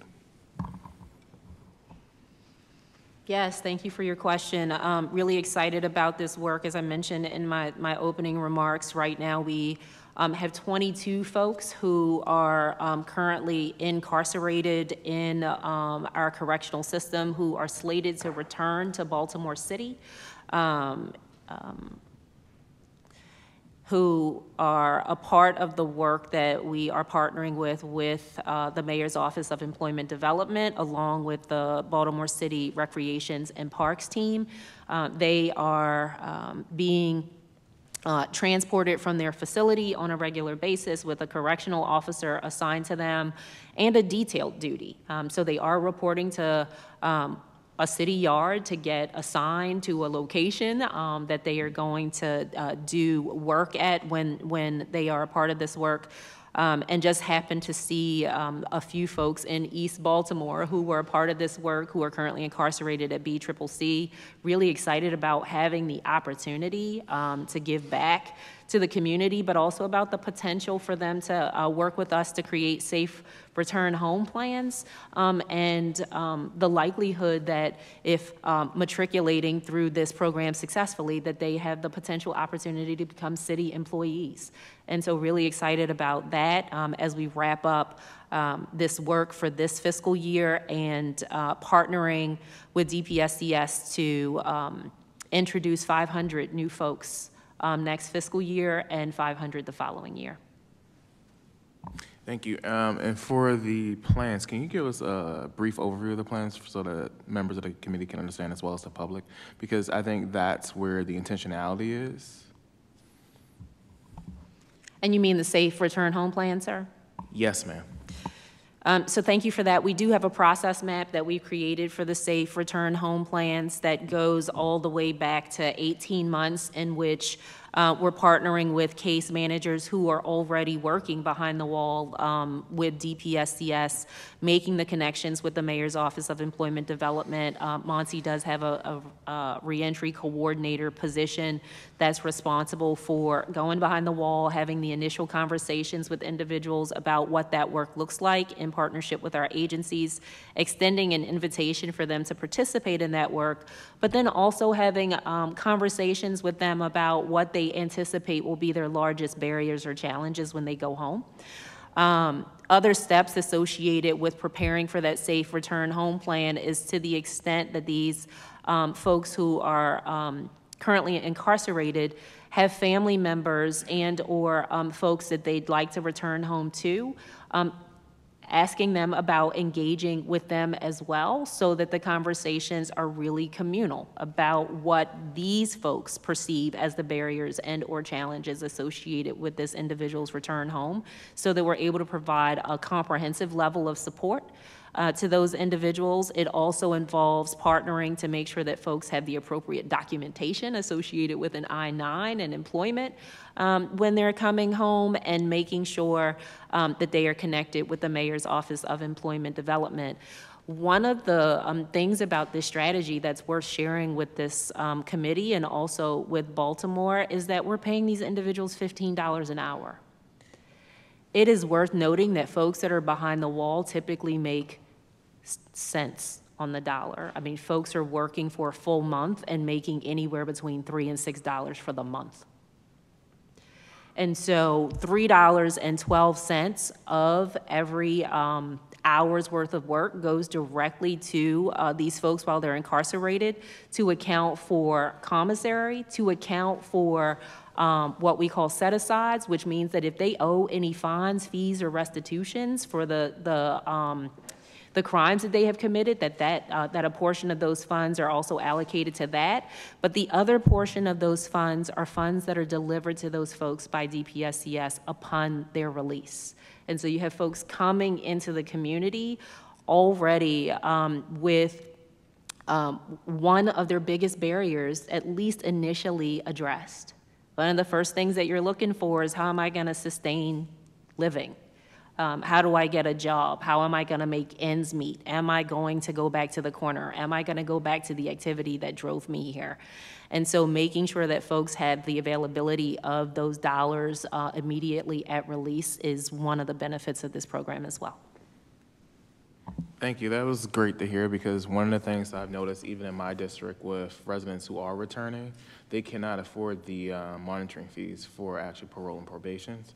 Um, I want to speak something that's near and dear to me because my mother was a returning citizen and had to become mom when she came home. So, what supports are we particularly offering women as they are becoming coming from behind the walls? Because immediately, I hate to say this, um, men have an opportunity not to be dad right away, but women have to be mom right away. So, I want to know what supports we have for women.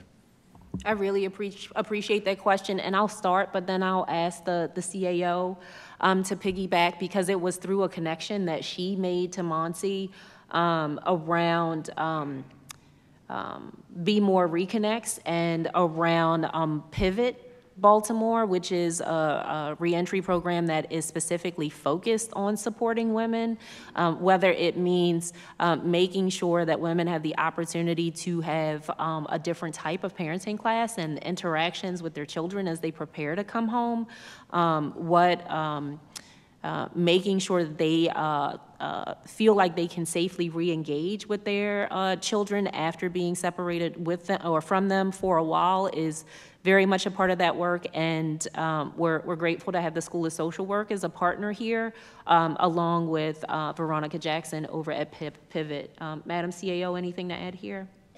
No, I think the director hit the nail on the head. So I thank you for asking that question. As to my mother was a returning citizen, so this work around women returning home from incarceration is very important to me.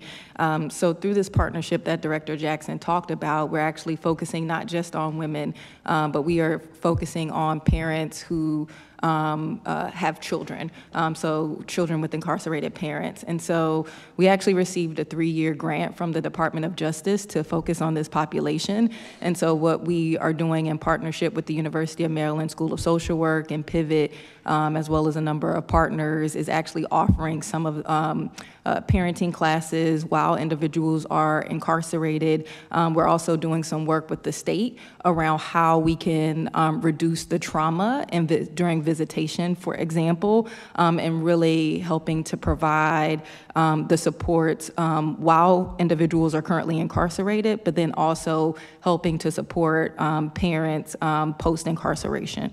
So we're really excited about about this partnership um, that we've been able to forge. Um, we're only a couple of months in, I may, maybe seven to eight months in, um, but we're really proud of the work that we're able to do with this DOJ grant. Thank you. Um, I'm going to head out for the evening, but Director Jackson, I just want to thank you for your service um, as well as your partnership. I look forward to introducing our Office of Returning Citizens because I just want to be frank, colleagues, as I've been lobbying you the last couple of months in reference to this legislation. This is near and dear to me. Um, both my parents were returning citizens. I also serve a district that is filled with returning citizens. Most persons who return back to Baltimore return back to the 7th Council District. So I see this work, the intentionality, the 18 months matters. I say that because I've had constituents who were violated for parole and probation because they lied about having a place to live. These conversations, these intentional vulnerability moments for participants as well as our staff to have these discussions are important. I say they're important because that's one last person who is in survival mode that's going to commit a crime when they return to Baltimore. That's one last person that's going to not tell us they don't have a system or a support system there for them. So I just want to urge my colleagues to look to the substance, but also support the substance at the same time. Thank you.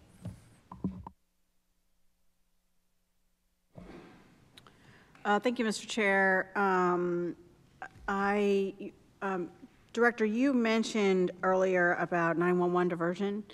Um, and obviously that's something that the mayor has talked about for a long time. Um, I will ask the police department tomorrow about the smart policing and how that's going. Um, uh, I know that um, you had mentioned that there was um, more examination of what are some of the things that can be diverted so that it's not a police response. Um, it's a much more, you know, targeted response. Um, right now, uh, 988 is just suicidal ideation. So um, when you're talking about from the MONSE perspective of 911 diversion, tell me a little bit more about what you're thinking about and then also the other topics that you've discovered in your, um, in your uh, study. Thank you for the question. I'm, I'm actually going to call up our policy and research director who's been charged with digging into um, national 911 calls in addition to Baltimore City calls um, to really get us to a place where we're able to identify at least four other call types. But what our focus has been uh, for the Scott administration is identifying at least four other call types that aren't necessarily connected to um, a behavioral health response um, so that we can figure out what community-based assets and/or um, institutional assets we could uh, leverage, and as a result, reduce the burden on our emergency responders um, in this way. So, um, John, when you are ready. Um, so thanks for your question. Yeah, the first, I'd say the first stage of what we're looking at is to look beyond behavioral health. And um, just came from a conference on this, and we have recently done an analysis of 911 call data on this. And what we're looking at, the key thing, and this is, so I mentioned the conference because we don't need to recreate the wheel. There's a lot of success stories across the country. And one of the interesting things is wherever um, cities have started with a select number of calls like we're doing with, let's say we're identifying four, they actually, in many cases, are ramping up beyond that. Um, which is a testament to the success of the initial four and the fact that you know the overwhelming majority of 911 calls right now, um, including ones beyond behavioral health, are nonviolent and um, not associated with any follow-up crime or anything. So uh, the key thing we're doing is looking at the actual call narratives to say, um, to characterize calls by what's actually happening. And they may, that may go across different coded call types at the moment. So we're looking at, for example, housing assistance, um, conflict resolution related calls, whether it's juvenile disturbances, family disturbance, um, squeegee disturbances. But, you know, the key thing is, you know, you don't go by the coded call type that's at the moment the dispatch call, but rather look at all the calls and see what's actually um, being heard by the dispatcher. Um, and at the moment, where we've identified the four I just mentioned as good candidates for uh, initial alternative response. And the alternative response um, is a, com a, community responder team that's appropriate to provide the services and the needs of, uh, you know, whatever the needs are of that call that's coming in. And the key, holistically, that we're looking at is an integrated system. So we want all the different call types we're talking about to, to be coordinated so people get the need services they need. So uh, say that again, conflict resolution. Uh, yeah, three types of conflict, three categories of conflict resolution, a juvenile, you know, involving juvenile disturbances, family disturbances, and specifically squeegee disturbance calls that involve some conflict resolution. And again, all, all of those, part of the process is that the call taker does a screen and screens out calls that would involve weapons or other violence that wouldn't be appropriate for this. Um, and then the other is calls related to some need for housing assistance. So report of someone who's on the street and either at risk of being homeless or in a situation where they need housing. Interesting. So um, you, you went through basically a lot of calls to mm-hmm. listen in on what, um, what was being talked about and that these were what was highlighted or, or just based on what you learned at the conference and best practices, this is what we're starting to go with? Uh, a combination of both. It's, okay. it, there, there's overlap. So the call analysis we did for Baltimore was to check whether what's the case for other cities applies here, and for the most part, it does. I mean, it's a similar pattern of uh, what calls we see coming in, and it's reassuring that the ones we've identified, we have a track. You know, there's a path to stand that up that's already been established elsewhere. So. Well, actually, it's really interesting that the, you know, um, the three uh, conflict mediation um, call types came up because frankly, that's a precursor to potential violence, right? Exactly. So, you know, if we're catching what could potentially be violence before it actually happens, similar to what Safe Streets does, similar to what, you know, we're um, asking Baltimore Community Mediation, some of the others, then that, that's actually pretty good. I mean, that I think will help us a lot. Yeah, and just to build on that, to take it one step further, I think it's also uh, potentially preventing tragedies or violence in the call response, because if you have a, the appro appropriate person responding who has the skills to respond to what the call's about. It reduces the risk of a misunderstanding or other things happening on the call. In the moment. In the moment, In the moment. So in addition to maybe trying to have a, a conflict mediation session elsewhere at some other point, there could be somebody 911 trained, somebody in 911 trained to really answer those calls and try to mediate the conflict at the moment, as well as sending out a response team or something like that, right? Exactly, it's two-tier, yeah. It's in the Uh-huh. moment, having a better response for the needs at that moment, and then also potentially a better follow-through in, t- in terms of providing the person the services down the road that they need. This is great. So these were calls that came, when you screened out the violence piece, these were the top four. If I- if I could check- Violence and behavioral health, right? So if I could check in here for a second, what I would say is that what we're sharing with um, this committee um, is a preliminary assessment and Sure. would want to come back to the committee with um, some, some final uh, decisions and, and recommendations um, post a, a conversation with the mayor. Sure, because you want to have the whole sort of spectrum, this whole system pr- pretty much in place before, you know, make, but uh, anyway, I'm glad you shared the information because those of us who've been trained in conflict mediation probably, you know, have already felt like this would be a, a really important resource um, anyway, um, just to try to, again, get ahead of and, you know, um, the violence, because our violence right now in a lot of ways is conflict. It's conflict. So if we can get ahead of the game, that would be super important. So thanks for taking that time for that evaluation, and I look forward to um, the more full uh, assessment and evaluation and, and how you're going to put that in, in place. And I, I don't need to make it a request, I know that you will be reporting to us um, in public safety on that, correct? Yep. Thank you. Um, Thank you, Mr. Chair. Thank you, Mr. Chair. Um, Thank you, Madam Director. Uh, Sort of similar line of questioning to my colleague. Um, Last year, we made a big push in the budget to get some more funds to BCRI, Baltimore Crisis Response, um, knowing that uh, Baltimore has an opportunity to, once again, lead as it relates to behavioral and mental health crises and having interventions that are not just police, but in some cases co-responder or, um, you know, mental health folks uh, participating. Um, where are we with that? Like, was that money well spent? Um, because it seems that the mental health crisis in our city has not abated.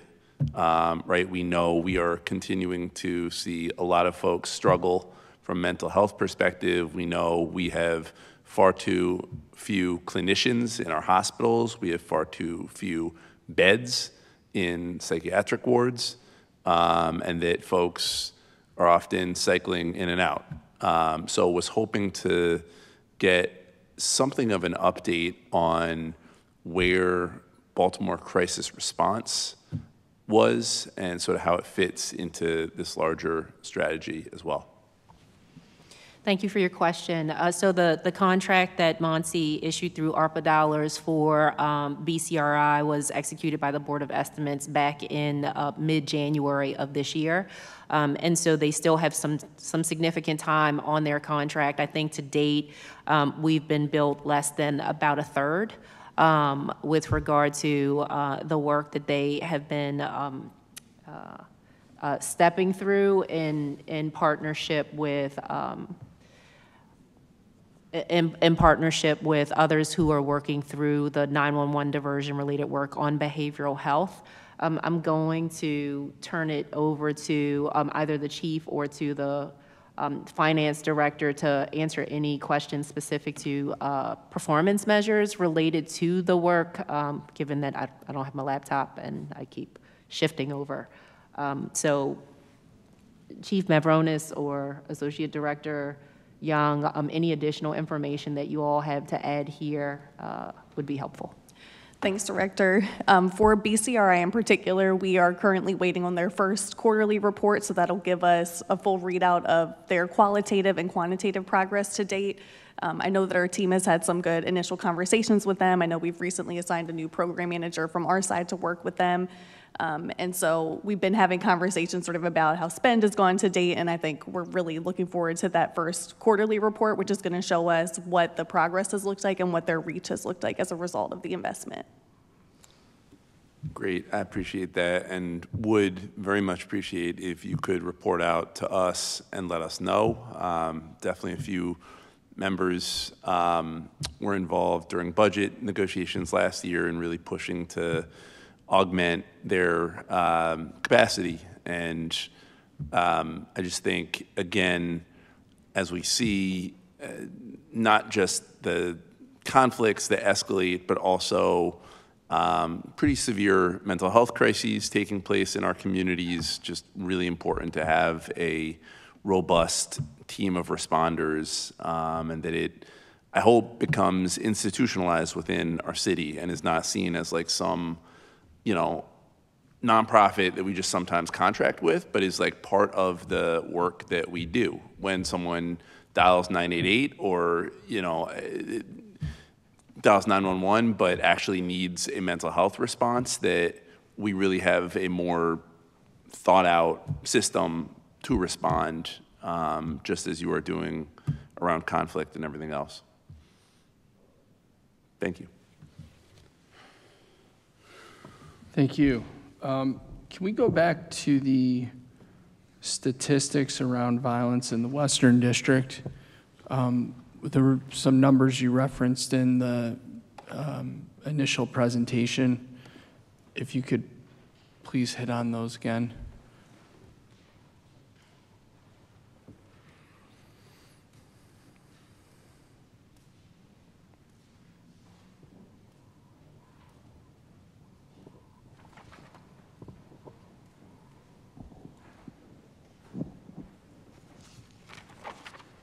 Specific to the Western District.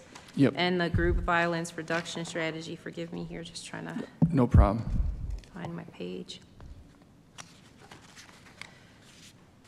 Since the beginning of the pilot program in the Western District in January of 2022, homicides and non-fatal shootings are down a combined 25.24%, is the And- statistic that I shared.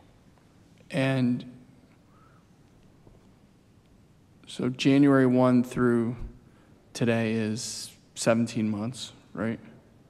Yes. Is it those 17 months over what period? The previous 17-month period?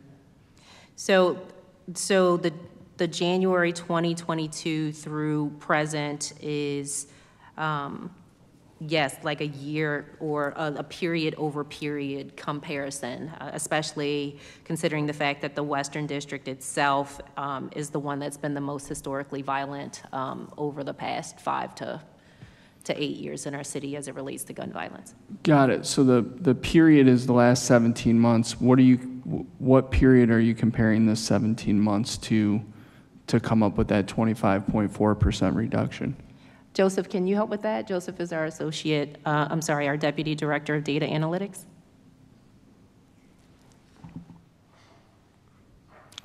What's your, what's your last name, sir?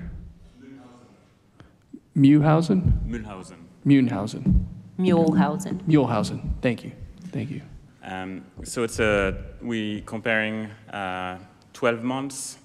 So it's um, the past 12 months from today's date to um, So June 5th of, um, June 5th of 22 through June 5th of 2023 compared to what, what's the period you're comparing it to?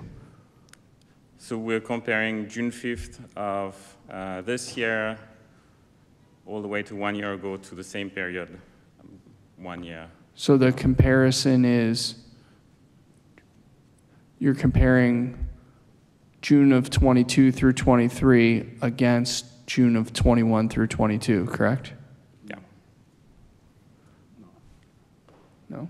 You, you, you're comparing January to June versus January to June, year to date, right? So you're asking me about the 17 months period, right? No, I'm, well, I'm, the, the director referenced a 25.4% reduction. So the 25.4% reduction is, I don't mean to be crass, is one number divided by another number.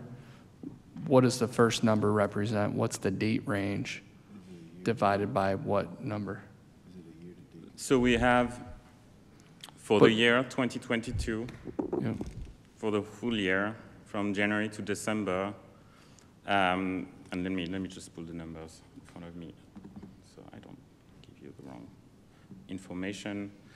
Uh, we had a reduction in homicides and non-fatal shootings of minus uh, 33%. So for calendar 22 versus calendar 21, correct? Yes.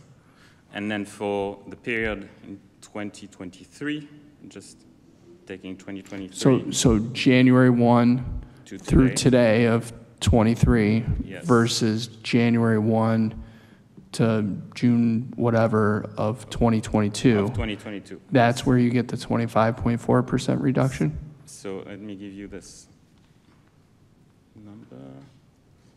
For the Western, um, for this uh, period, this year, we get a reduction of 2%. 2%? Mhm. So, s- um, where, can someone tell me where the 25.4% came from? Yes. So uh, when we talk about the beginning of the pilot program starting in January of 2022, which is well over a year ago, up through now, what we see is a 25.24%. The question that you're asking about whether or not it was a like period to like period comparison is yes.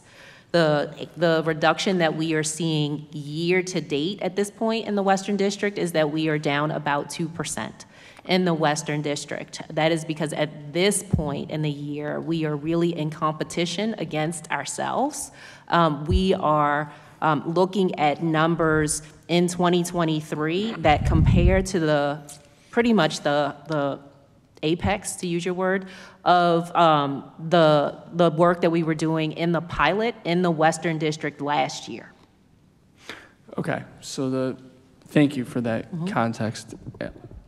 I assume that will be helpful in the larger conversation, but the, no one has, I, I don't believe, and forgive me if, if um, Mr. Mulhausen or, or Director, you have answered this. The 25.4% reduction that was in your introduction statement, that is a comparison of which period to which period?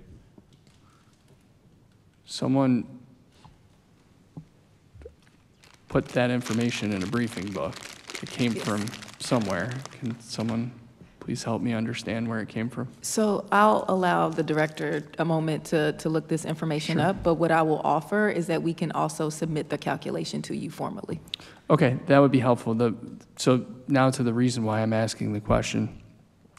When we say there's a 2% reduction or a 25.4% reduction or a 33% reduction, um, those, those are over some period of time versus a comparable period of time. My question is, I'll just use, let's just use the, let's use the 25.4% just for the sake of conversation. That's a 25.4% reduction in the total number of non-fatal shootings plus the total number of homicides It is- versus, versus the previous period of the sum of the total number of non-fatal shootings and the total number of homicides. Is that correct?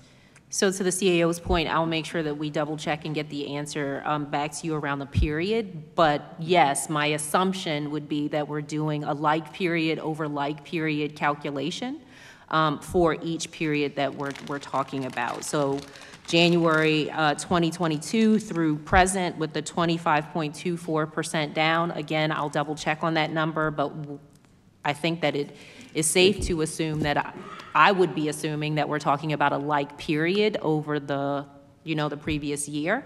Um, When we talk about the 33.8% down um, at the end of the year last year, that was a comparison over the previous year. And when we talk about the down 2% this year to date, that is compared to last year. And that's why the, the point that I made about us essentially competing against ourselves um, as it relates to the implementation of GVRS is really where we, uh, where we are right now. And happy to talk to this, this body about the work that we're doing to make sure that we get back to 15%.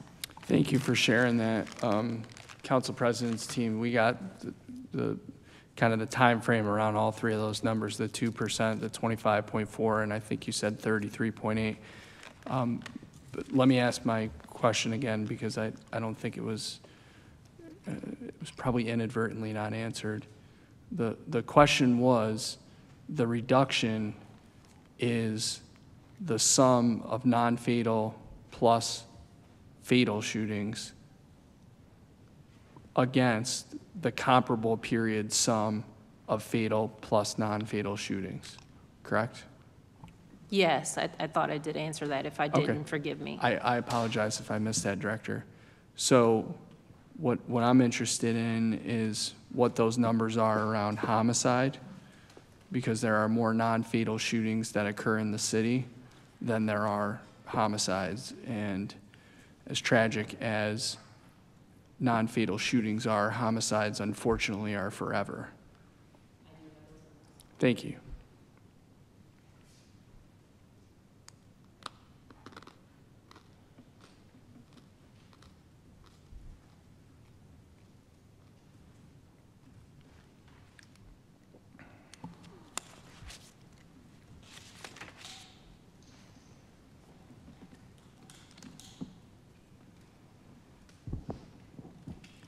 These numbers are not through today, but they are uh, BPD's CompStat numbers through last Tuesday. And this Um, is year, year-to-date? Sorry to interrupt, Yes, these are the Director. year-to-date numbers. Okay.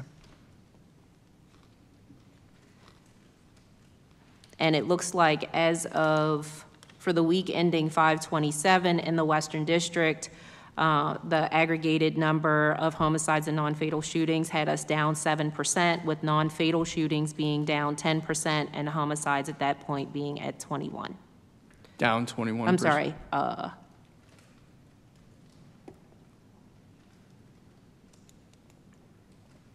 Mr. Milhausen, I might have you double-check this number as well. It looks like the numbers on the report may have been transposed, Um, but it appears to be uh, up 21%.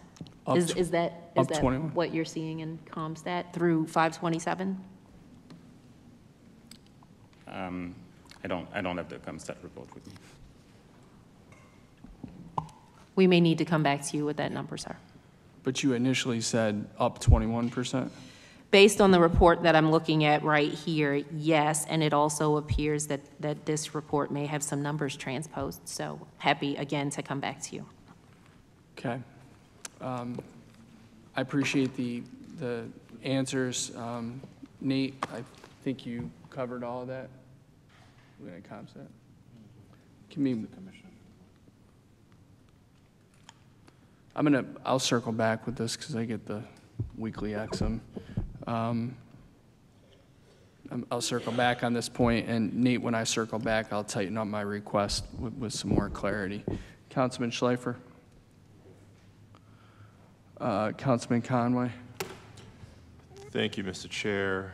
Um, I wanted to circle back uh, a little bit to uh, the conversation on the Peacemobile. Um, Can you tell me a little bit about what the Peacemobile is, what it does? We'll start there.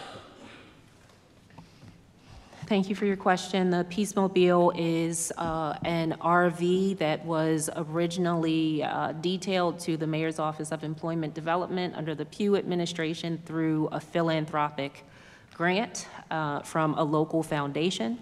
Um, That vehicle was not being used by the Mayor's Office of Employment Development, and in coming into uh, the administration, there had already been some uh, state-funded dollars that were secured associated with the development of um, a vehicle of this type. And so we had a couple of options there. One was to do a purchase of our own and uh, didn't make a lot of sense, uh, given that we wanted to be good stewards of city dollars. And so partnered with the Mayor's Office of Employment Development, the Department of Transportation, DGS, um, to get this vehicle outfitted. Um, in very similar ways as uh, the Peacemobile that we see operating in um, five boroughs in New York. They actually have five um, Peacemobiles in New York, and It's essentially meant to be um, a one-stop shop for resources um, for our community. So whether we're talking about someone who is a returning citizen and doesn't have the paperwork that they need in order to complete an I-9, and we actually saw that on the very first day uh, and went back the next day to partner with folks. Um, So proactive response in communities meant to be um, uh, exactly what it sounds like, us meeting people where they are, but also meant to be reactive um, when uh, we need to mobilize into communities based on um, traumatic events that are happening and using um, those social service data points, those quality of life data points, and emergency service data points to determine what resources from a community and a, a city agency perspective should be deployed. Got it. So um, just to make sure I understand you correctly, the, the vehicle was donated to us? So as I mentioned before, the vehicle um, was uh, uh, the Mayor's Office of Employment Development's vehicle long before the Scott administration. I am under the impression that it is a vehicle that was grant granted to us through a philanthropic foundation uh, when um, Catherine Pugh was mayor. Oh, so I'll uh, further clarify. It, it was donated to us in a different capacity before. Correct. We've now upfitted it. And that for this vehicle was purpose. not being used any longer. It was sitting in a DOT tow yard. Got it. Uh, And then uh, for the upfitting of the vehicle, uh, the funding to upfit that vehicle came from what?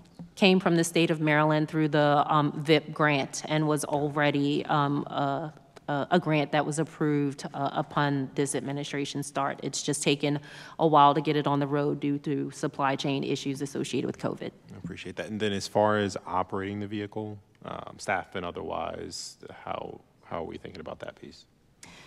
So at this point, we've been partnering with the Department of um, General Services and DOT, who have provided uh, drivers to MONSE for the few days that the vehicle's been on the road. Um, As I mentioned in my opening remarks, we do have a position uh, associated with um, this work for a CDL uh, driver who is also meant to be an outreach worker who would work closely with our manager of coordinated neighborhood stabilization responses so that the vehicle is able to be in communities both on a proactive and a reactive basis.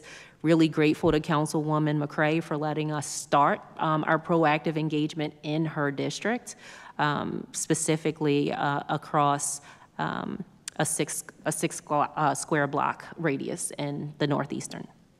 Got it. Thank you. Thank you, Mr. Chair.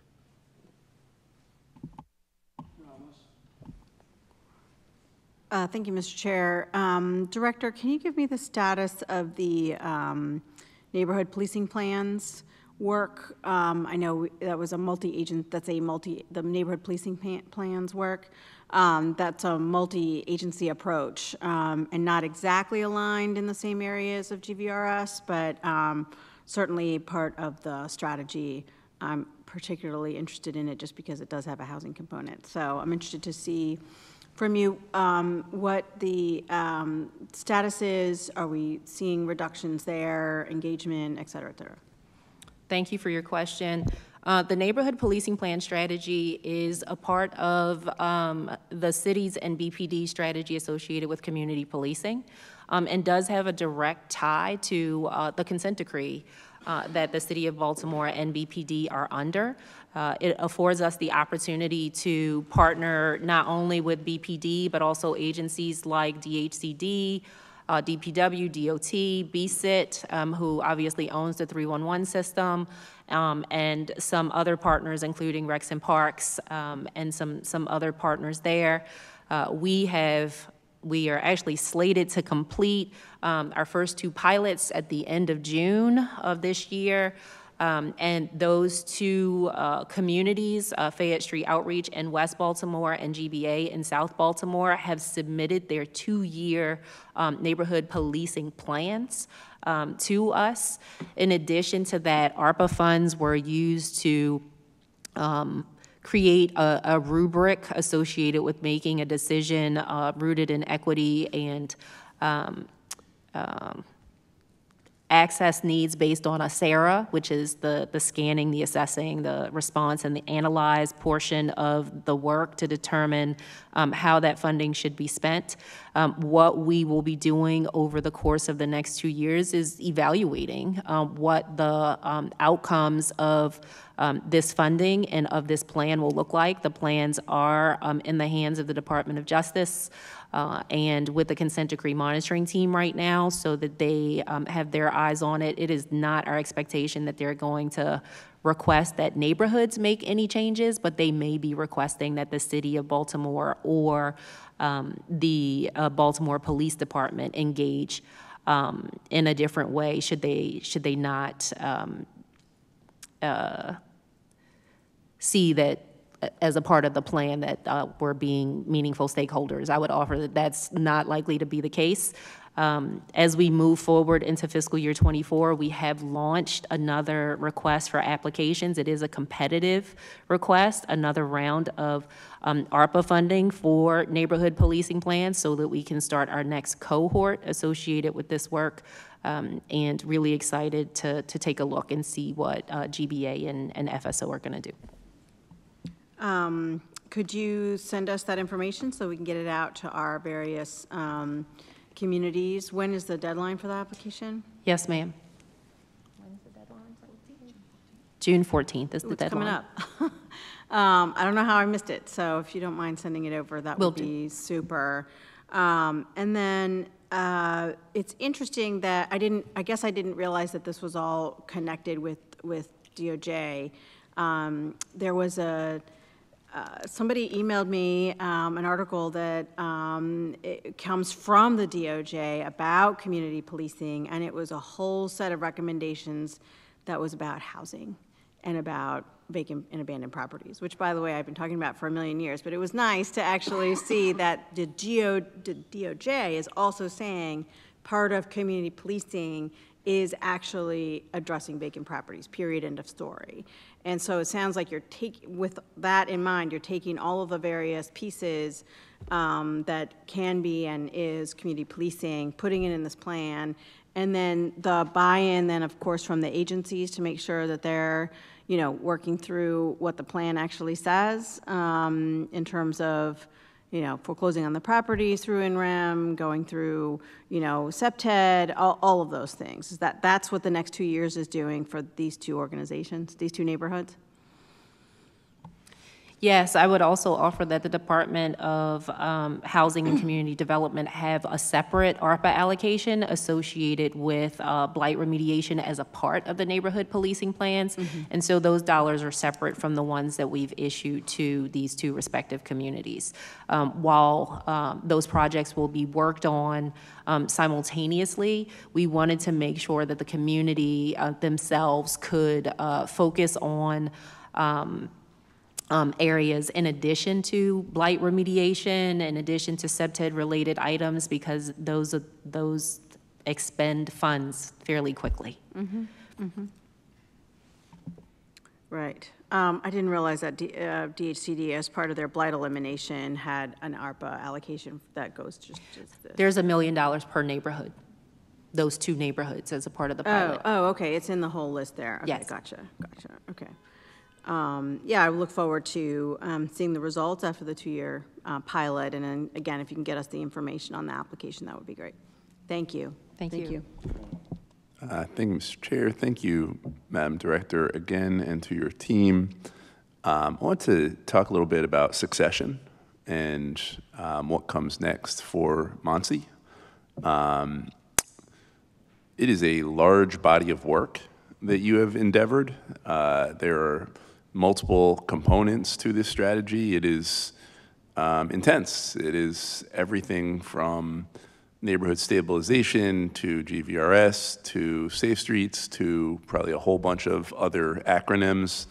Um, wanted to ask first, just from the administration's perspective, and so maybe this is for city administrator, um, is there a commitment to retain this strategy, this same strategy um, beyond when uh, Director Jackson um, retires? And I say that because I think in Baltimore, we do a lot of lurching when it comes from to public safety. We tend to go from stat- strategy to strategy, and I think we end up um, not always doing ourselves a great service by doing that. So, um, for City Administrator Leach, um, is there a commitment from the administration to stay on the same course um, once Director Jackson leaves city government? Thank you, sir. I appreciate the question. Um, I actually want to take an opportunity to publicly thank Director Jackson for all of her work. Um, we have seen the exponential growth um, in, in MONSE, but we've also seen the exponential impact that having an organization like MONSE has had on the city of Baltimore.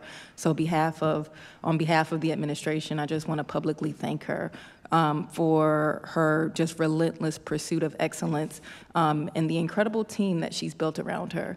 I think when we look around this room, um, what, what Director Jackson will leave behind. Um, one is a legacy, um, but two, an incredible team who will continue to work every single day um, to continue the deep investments um, that Director Jackson um, really has started with the Mayor's Office of Neighborhood Safety and Engagement.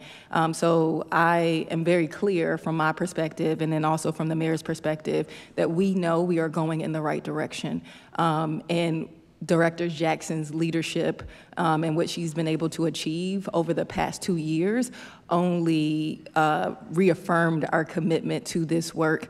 Um, and again, we have an incredible team um, that Director Jackson will leave behind that will continue uh, that will continue this work. Um, and we hope to find a director um, that will also just continue to double down on these efforts. But um, I want to be very clear um, that the mayor is very much committed to the strategy that we've begun under Director Jackson's leadership, and we will only double down on those investments. I appreciate that. Um, Director Jackson, from your perspective, how are you thinking about passing the baton and making sure that there is continuity and there is wholeness in uh, in the work? Because again, it is um, a lot, and there's a lot of it, and um, it'd be a tricky one for someone to step into. And so, I'm curious how you're thinking about how to effectively pass down all that you and your team have started. And again, do fully acknowledge that, like any agency, it is not just about you, it's about the team that you build um, and the folks that are in front of us. Uh, but I'm curious how you're thinking about, you know, in sort of the twilight, if you will, of your tenure here, um, how you're thinking about how to effectively ensure continuity and ensure that uh, the work continues in the best way possible? Thanks for your question. I, I, think the first thing that I'll say is please don't date me. I'm not retiring just yet. um, um, I will echo what we heard from the chief administrative officer that uh, the team that has been built to support Baltimore um, is well equipped to continue to do this work. Um, I would also offer uh, that we are in the final phases of finalizing a transition document because it's important to me to leave a place better than I found it um, and to make sure that there is um, a, a, document that gets handed over associated with transition. Um, the chief administrator and I um, have also talked about ensuring that that transition is one that happens smoothly to ensure that there is no interruption of work for Baltimore City. And so looking forward to doing that as well. Um, but what I would say here is that I consider my role as the executive director of this agency one in which I'm responsible for bridging the mayor's strategic goal with the tactical work, and that the folks that you see sitting with me are the the linchpins to getting that work done. Um, and so Baltimore is left in very capable hands. I'm, I'm, looking forward to continuing to be their cheerleader and showing up for events um, and um, supporting them as they continue the momentum that they've already built. Appreciate that. And again, thank you for your service. Colleagues, any other questions? Yes, sir. I've got two. Conway. Um, in a hearing earlier today, um, or maybe I'm losing track of time. I don't know what it was. we talked a little bit about the um, the Ring Camera Rebate Program. Historically, the Ring Camera Rebate Program. Uh, historically, that program um, was run out of MOCJ. Uh, of course, with the changeover to MONSE, um, things changed. Um, I've had constituents who've tried to get rebates for the program, and it's taken over six months, seven months. Um, and so I, I I wanted to know who was the main point of contact in uh, MONSE for the rebate program, realizing that it could have huge implications for safety in neighborhoods.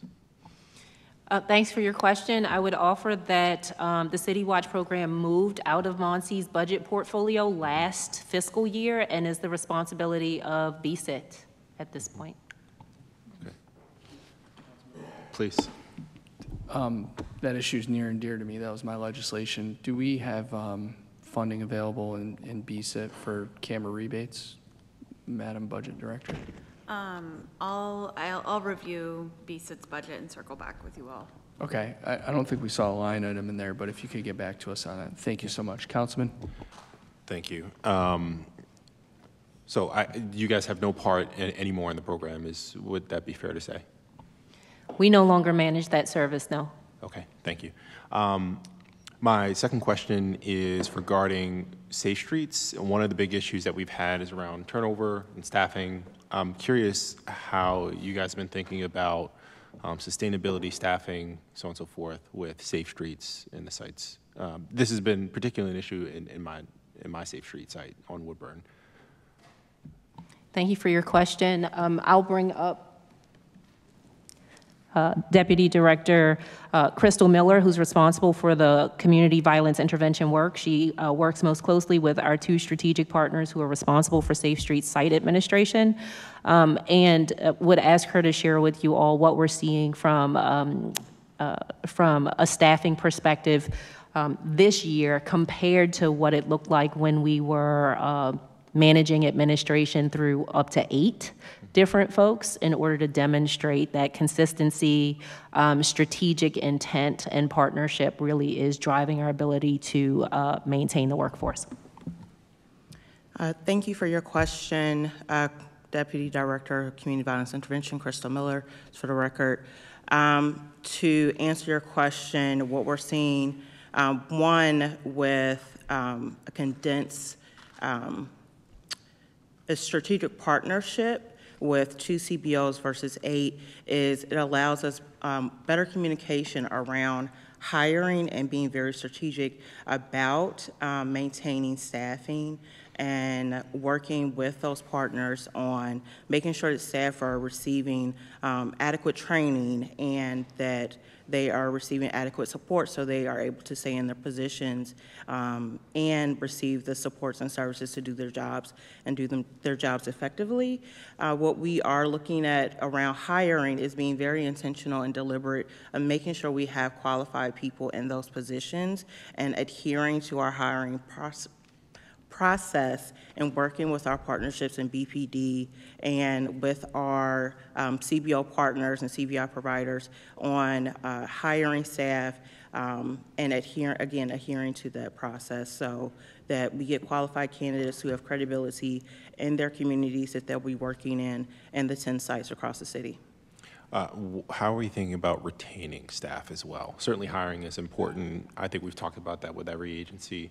Uh, A big part is also retaining the staff we do have. Do we have any understanding of, you know, what it is that's leading folks to, to leave our Safe Street sites?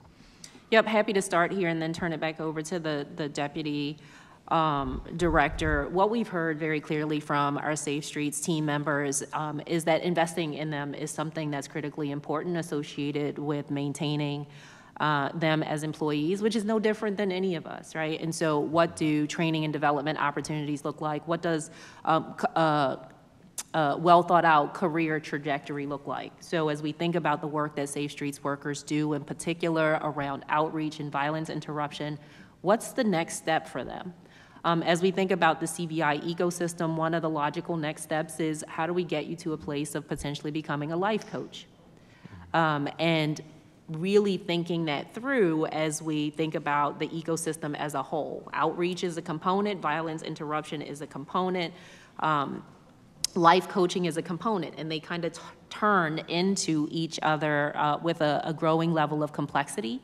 And so we are partnering um, with a local university around um, accreditation, around training, around an academy, um, and happy to have the, the, the, deputy speak more about that.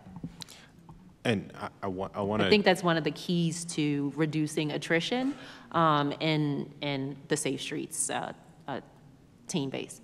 I appreciate that. I, I also, I'm curious if we have any data from exit interviews or anything to suggest um, very specifically what some of the known issues are, uh, if that helps us really think about. But please, go ahead. Sure, no problem. And again, thank you for the question. Uh, so um, following up on what Director Jackson just spoke about, um, some of those supports look like providing the staff with mental health and trauma supports um, in our partnership with Associated Catholic Charities and providing mental health um, trauma support from um, peer recovery and peer support staff, and also those who are certified in providing those mental health supports um, through their services that they provide. And that is available and open to all staff at all 10 sites to help them work through their traumas that they experience every day doing the work that they do and from any previous traumas they may have experienced in their lives. Also, um, we're making sure staff are receiving proper training um, and continuous training. We have a very intentional five-year trajectory plan for staff to receive training to help them develop and matriculate through positions within the Safe Streets program, but also to graduate to other um, professions outside of Safe, safe Streets. Um, we've seen success in this where staff have received their CDLs and been able to um, move from a Safe Streets position while working there for a certain amount of time, receiving that certification, and going on to a different career path and utilizing that certification. Um, I'm really excited about the program and the partnership that we have with the University of Baltimore for the certification in conflict mediation and really professionalizing the work, which will support in re reducing turnover in staff, um, with staff because we're now putting in a lot of investment in um, and, and really highlighting the work that they're doing um, and putting some, um, some pride behind what they're doing. Um, something else that we've um, implemented is uh, their salary and making sure that they are receiving a livable wage um, to, again, support with reducing turnover. Thank you. Um, Mr. Chair, if I could ask. Okay. Um, and, and sorry, I know people want to go to bed, but I, I got questions to ask. Um, oh, please, go ahead, Director. I was just going to add one more point here connected to the certification that we're working on with the University of Baltimore. It's going to give us the opportunity to demonstrate an even um, deeper level of effective stewardship of city dollars, given some legislation that was passed at the state level last year by Senator Sydnor and Delegate Smith, where we can leverage billing Medicaid and Medicare for CVI work when individuals who are part of a program have a certification associated with that, it will help us grow out the CVI ecosystem in ways that don't necessarily have financial impacts to the funding that we need for CVI as we cycle folks through that training program. Mm. Good to know. Um, Thank you. Uh, the other question I had was um, regarding coordinated neighborhood uh, stabilization responses. Um, are we measuring, of, of, course, we're measuring the stabiliz uh, stabilization responses that we're doing. Do we have a measure of their effectiveness or their efficacy? We do. We actually measure a couple of key points there, as I mentioned um, before, uh, 14 of them to date.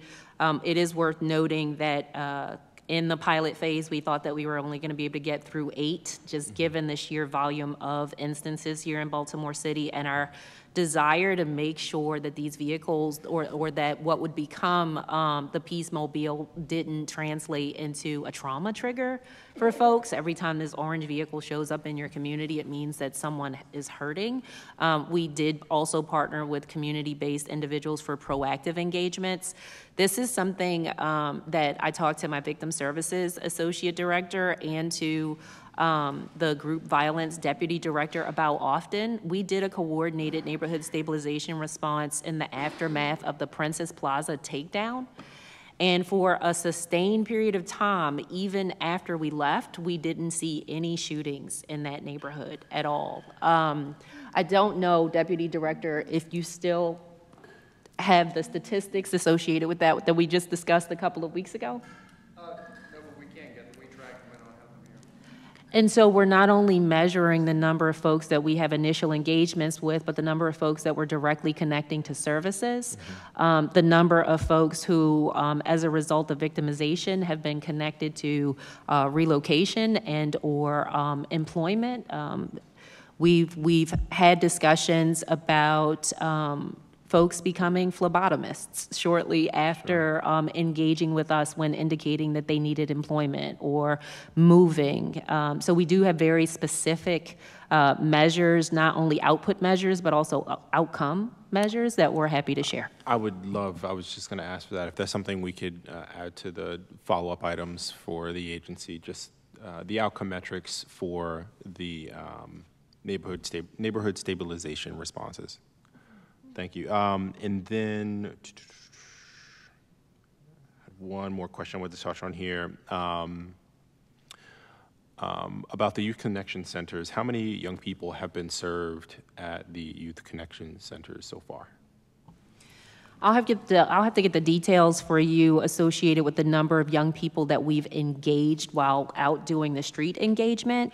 Um, with regard to young people that have actually come into the center to date, I believe we've had two young folks um, actually come into the center. Those two young folks weren't even transported into the center. They walked into the center on their own um, in West Baltimore. Um, we have not had the need to transport any young people to the center, and quite frankly, that has everything to do with the level of messaging um, that we put in place.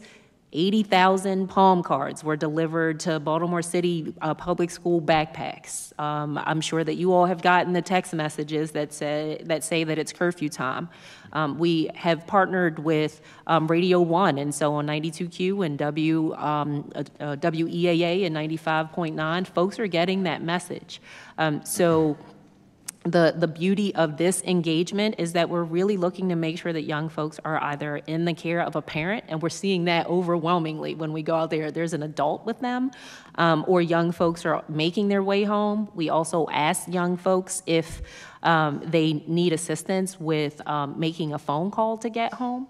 Um, and then finally, offering young folks the opportunity to come to a, a connection center it is worth sharing with you all that in the two weekends that we've been doing this work, no juveniles in our city have been shot on those weekends, either fatally or non fatally. And when we compare this period to last year, um, that wasn't the case. We saw two young people last year um, be shot last weekend, non fatally, um, and one of them shot fatally. In the two weeks this year, leading up to the implementation of this, we also saw four young people get shot non fatally. And so while we have never said that this was going to solve all of our youth violence, the mayor's been really clear when he's articulated that this is a part of the larger picture.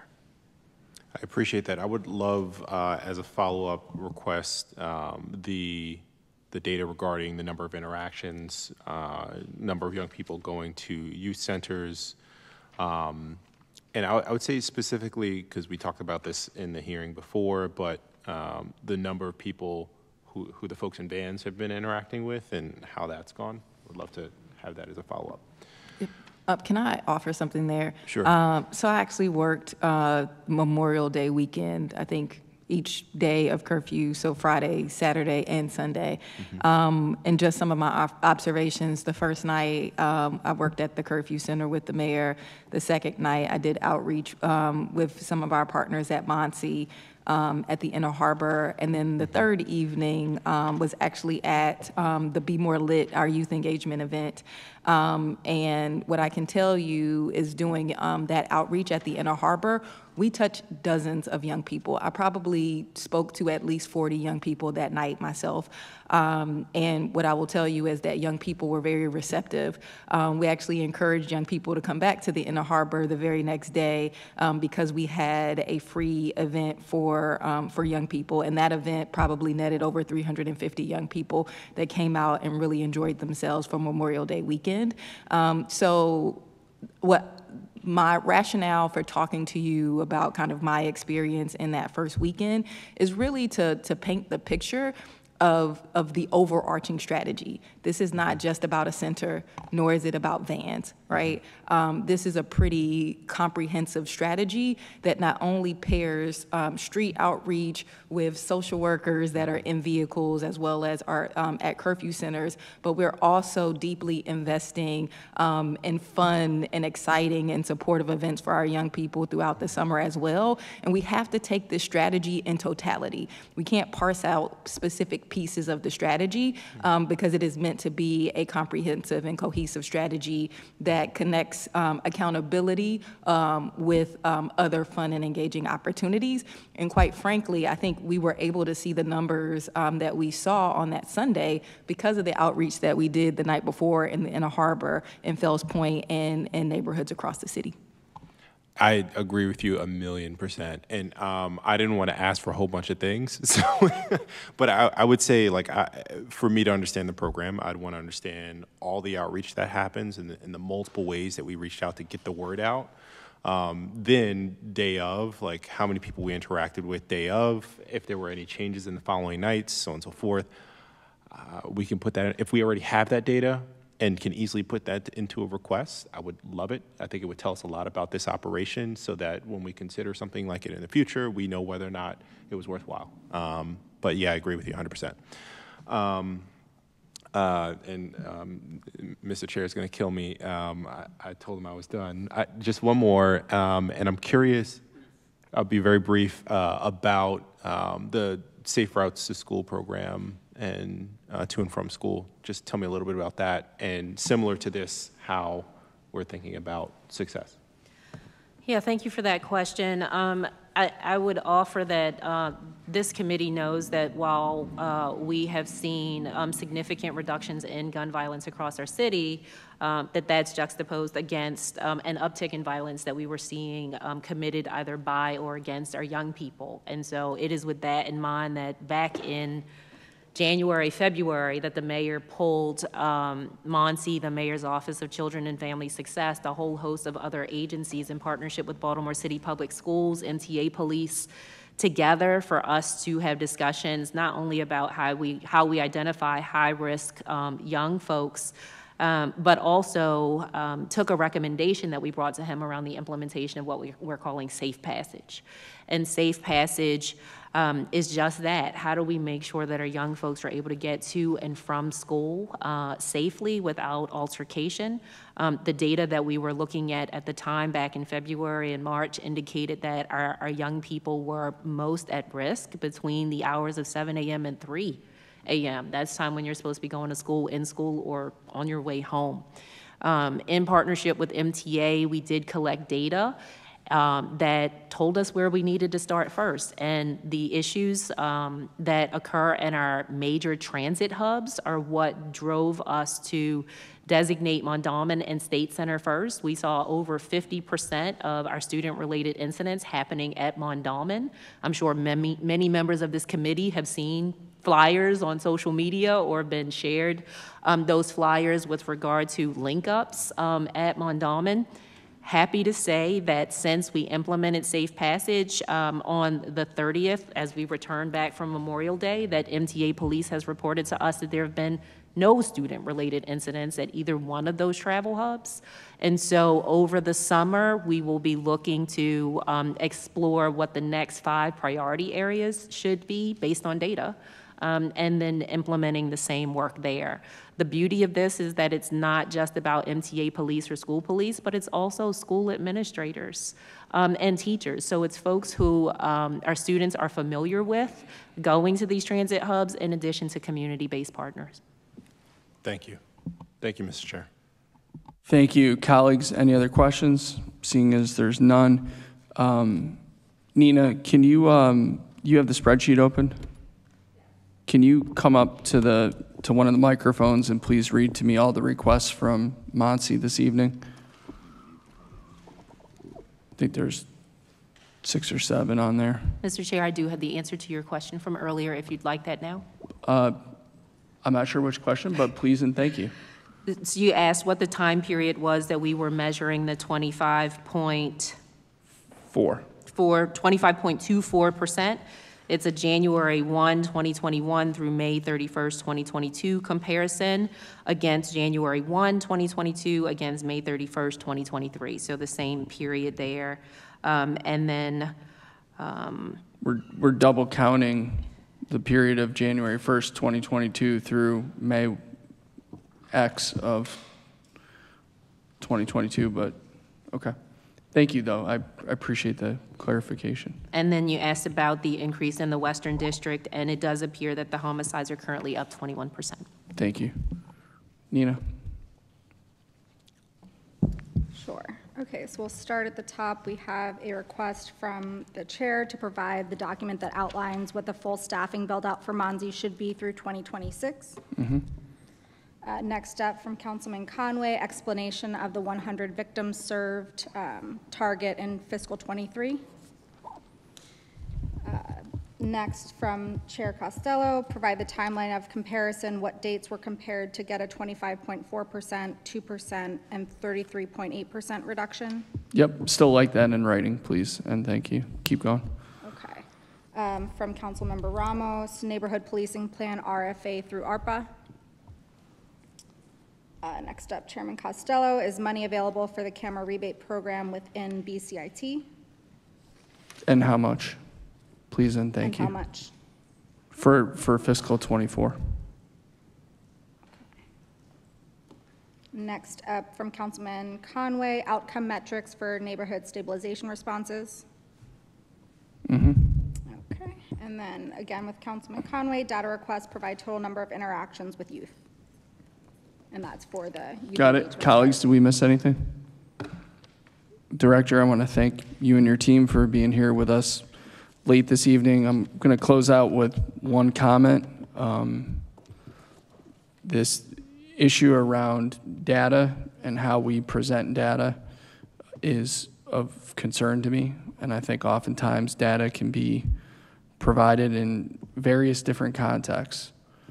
I want to be clear with the administration and with MONSE moving forward that every time that data is presented, which is used to justify policy decisions around anything related to public safety, I'm going to be asking these same questions.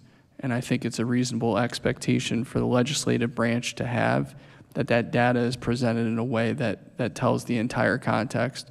Because when we started the hearing, we're told, you know, this 25% reduction, 24% reduction, and that's a, that's a great story. That is. But what's not a great story is a 21% increase in homicides in the western in the same catchment area. And I don't want to debate the, the, the merits of it either way. I'm, I'm not passing judgment on it. I'm just saying that data needs to be presented in a way that provides the, the entire context moving forward, the time frame for which um, that data is, is being presented moving forward. Director, again, to you and your team, thank you all for being here. CA Leach, Laura, your team, Government Relations team, Council President's team, thank you. Uh, We're now in recess till 9 AM tomorrow. Get home safe, everyone.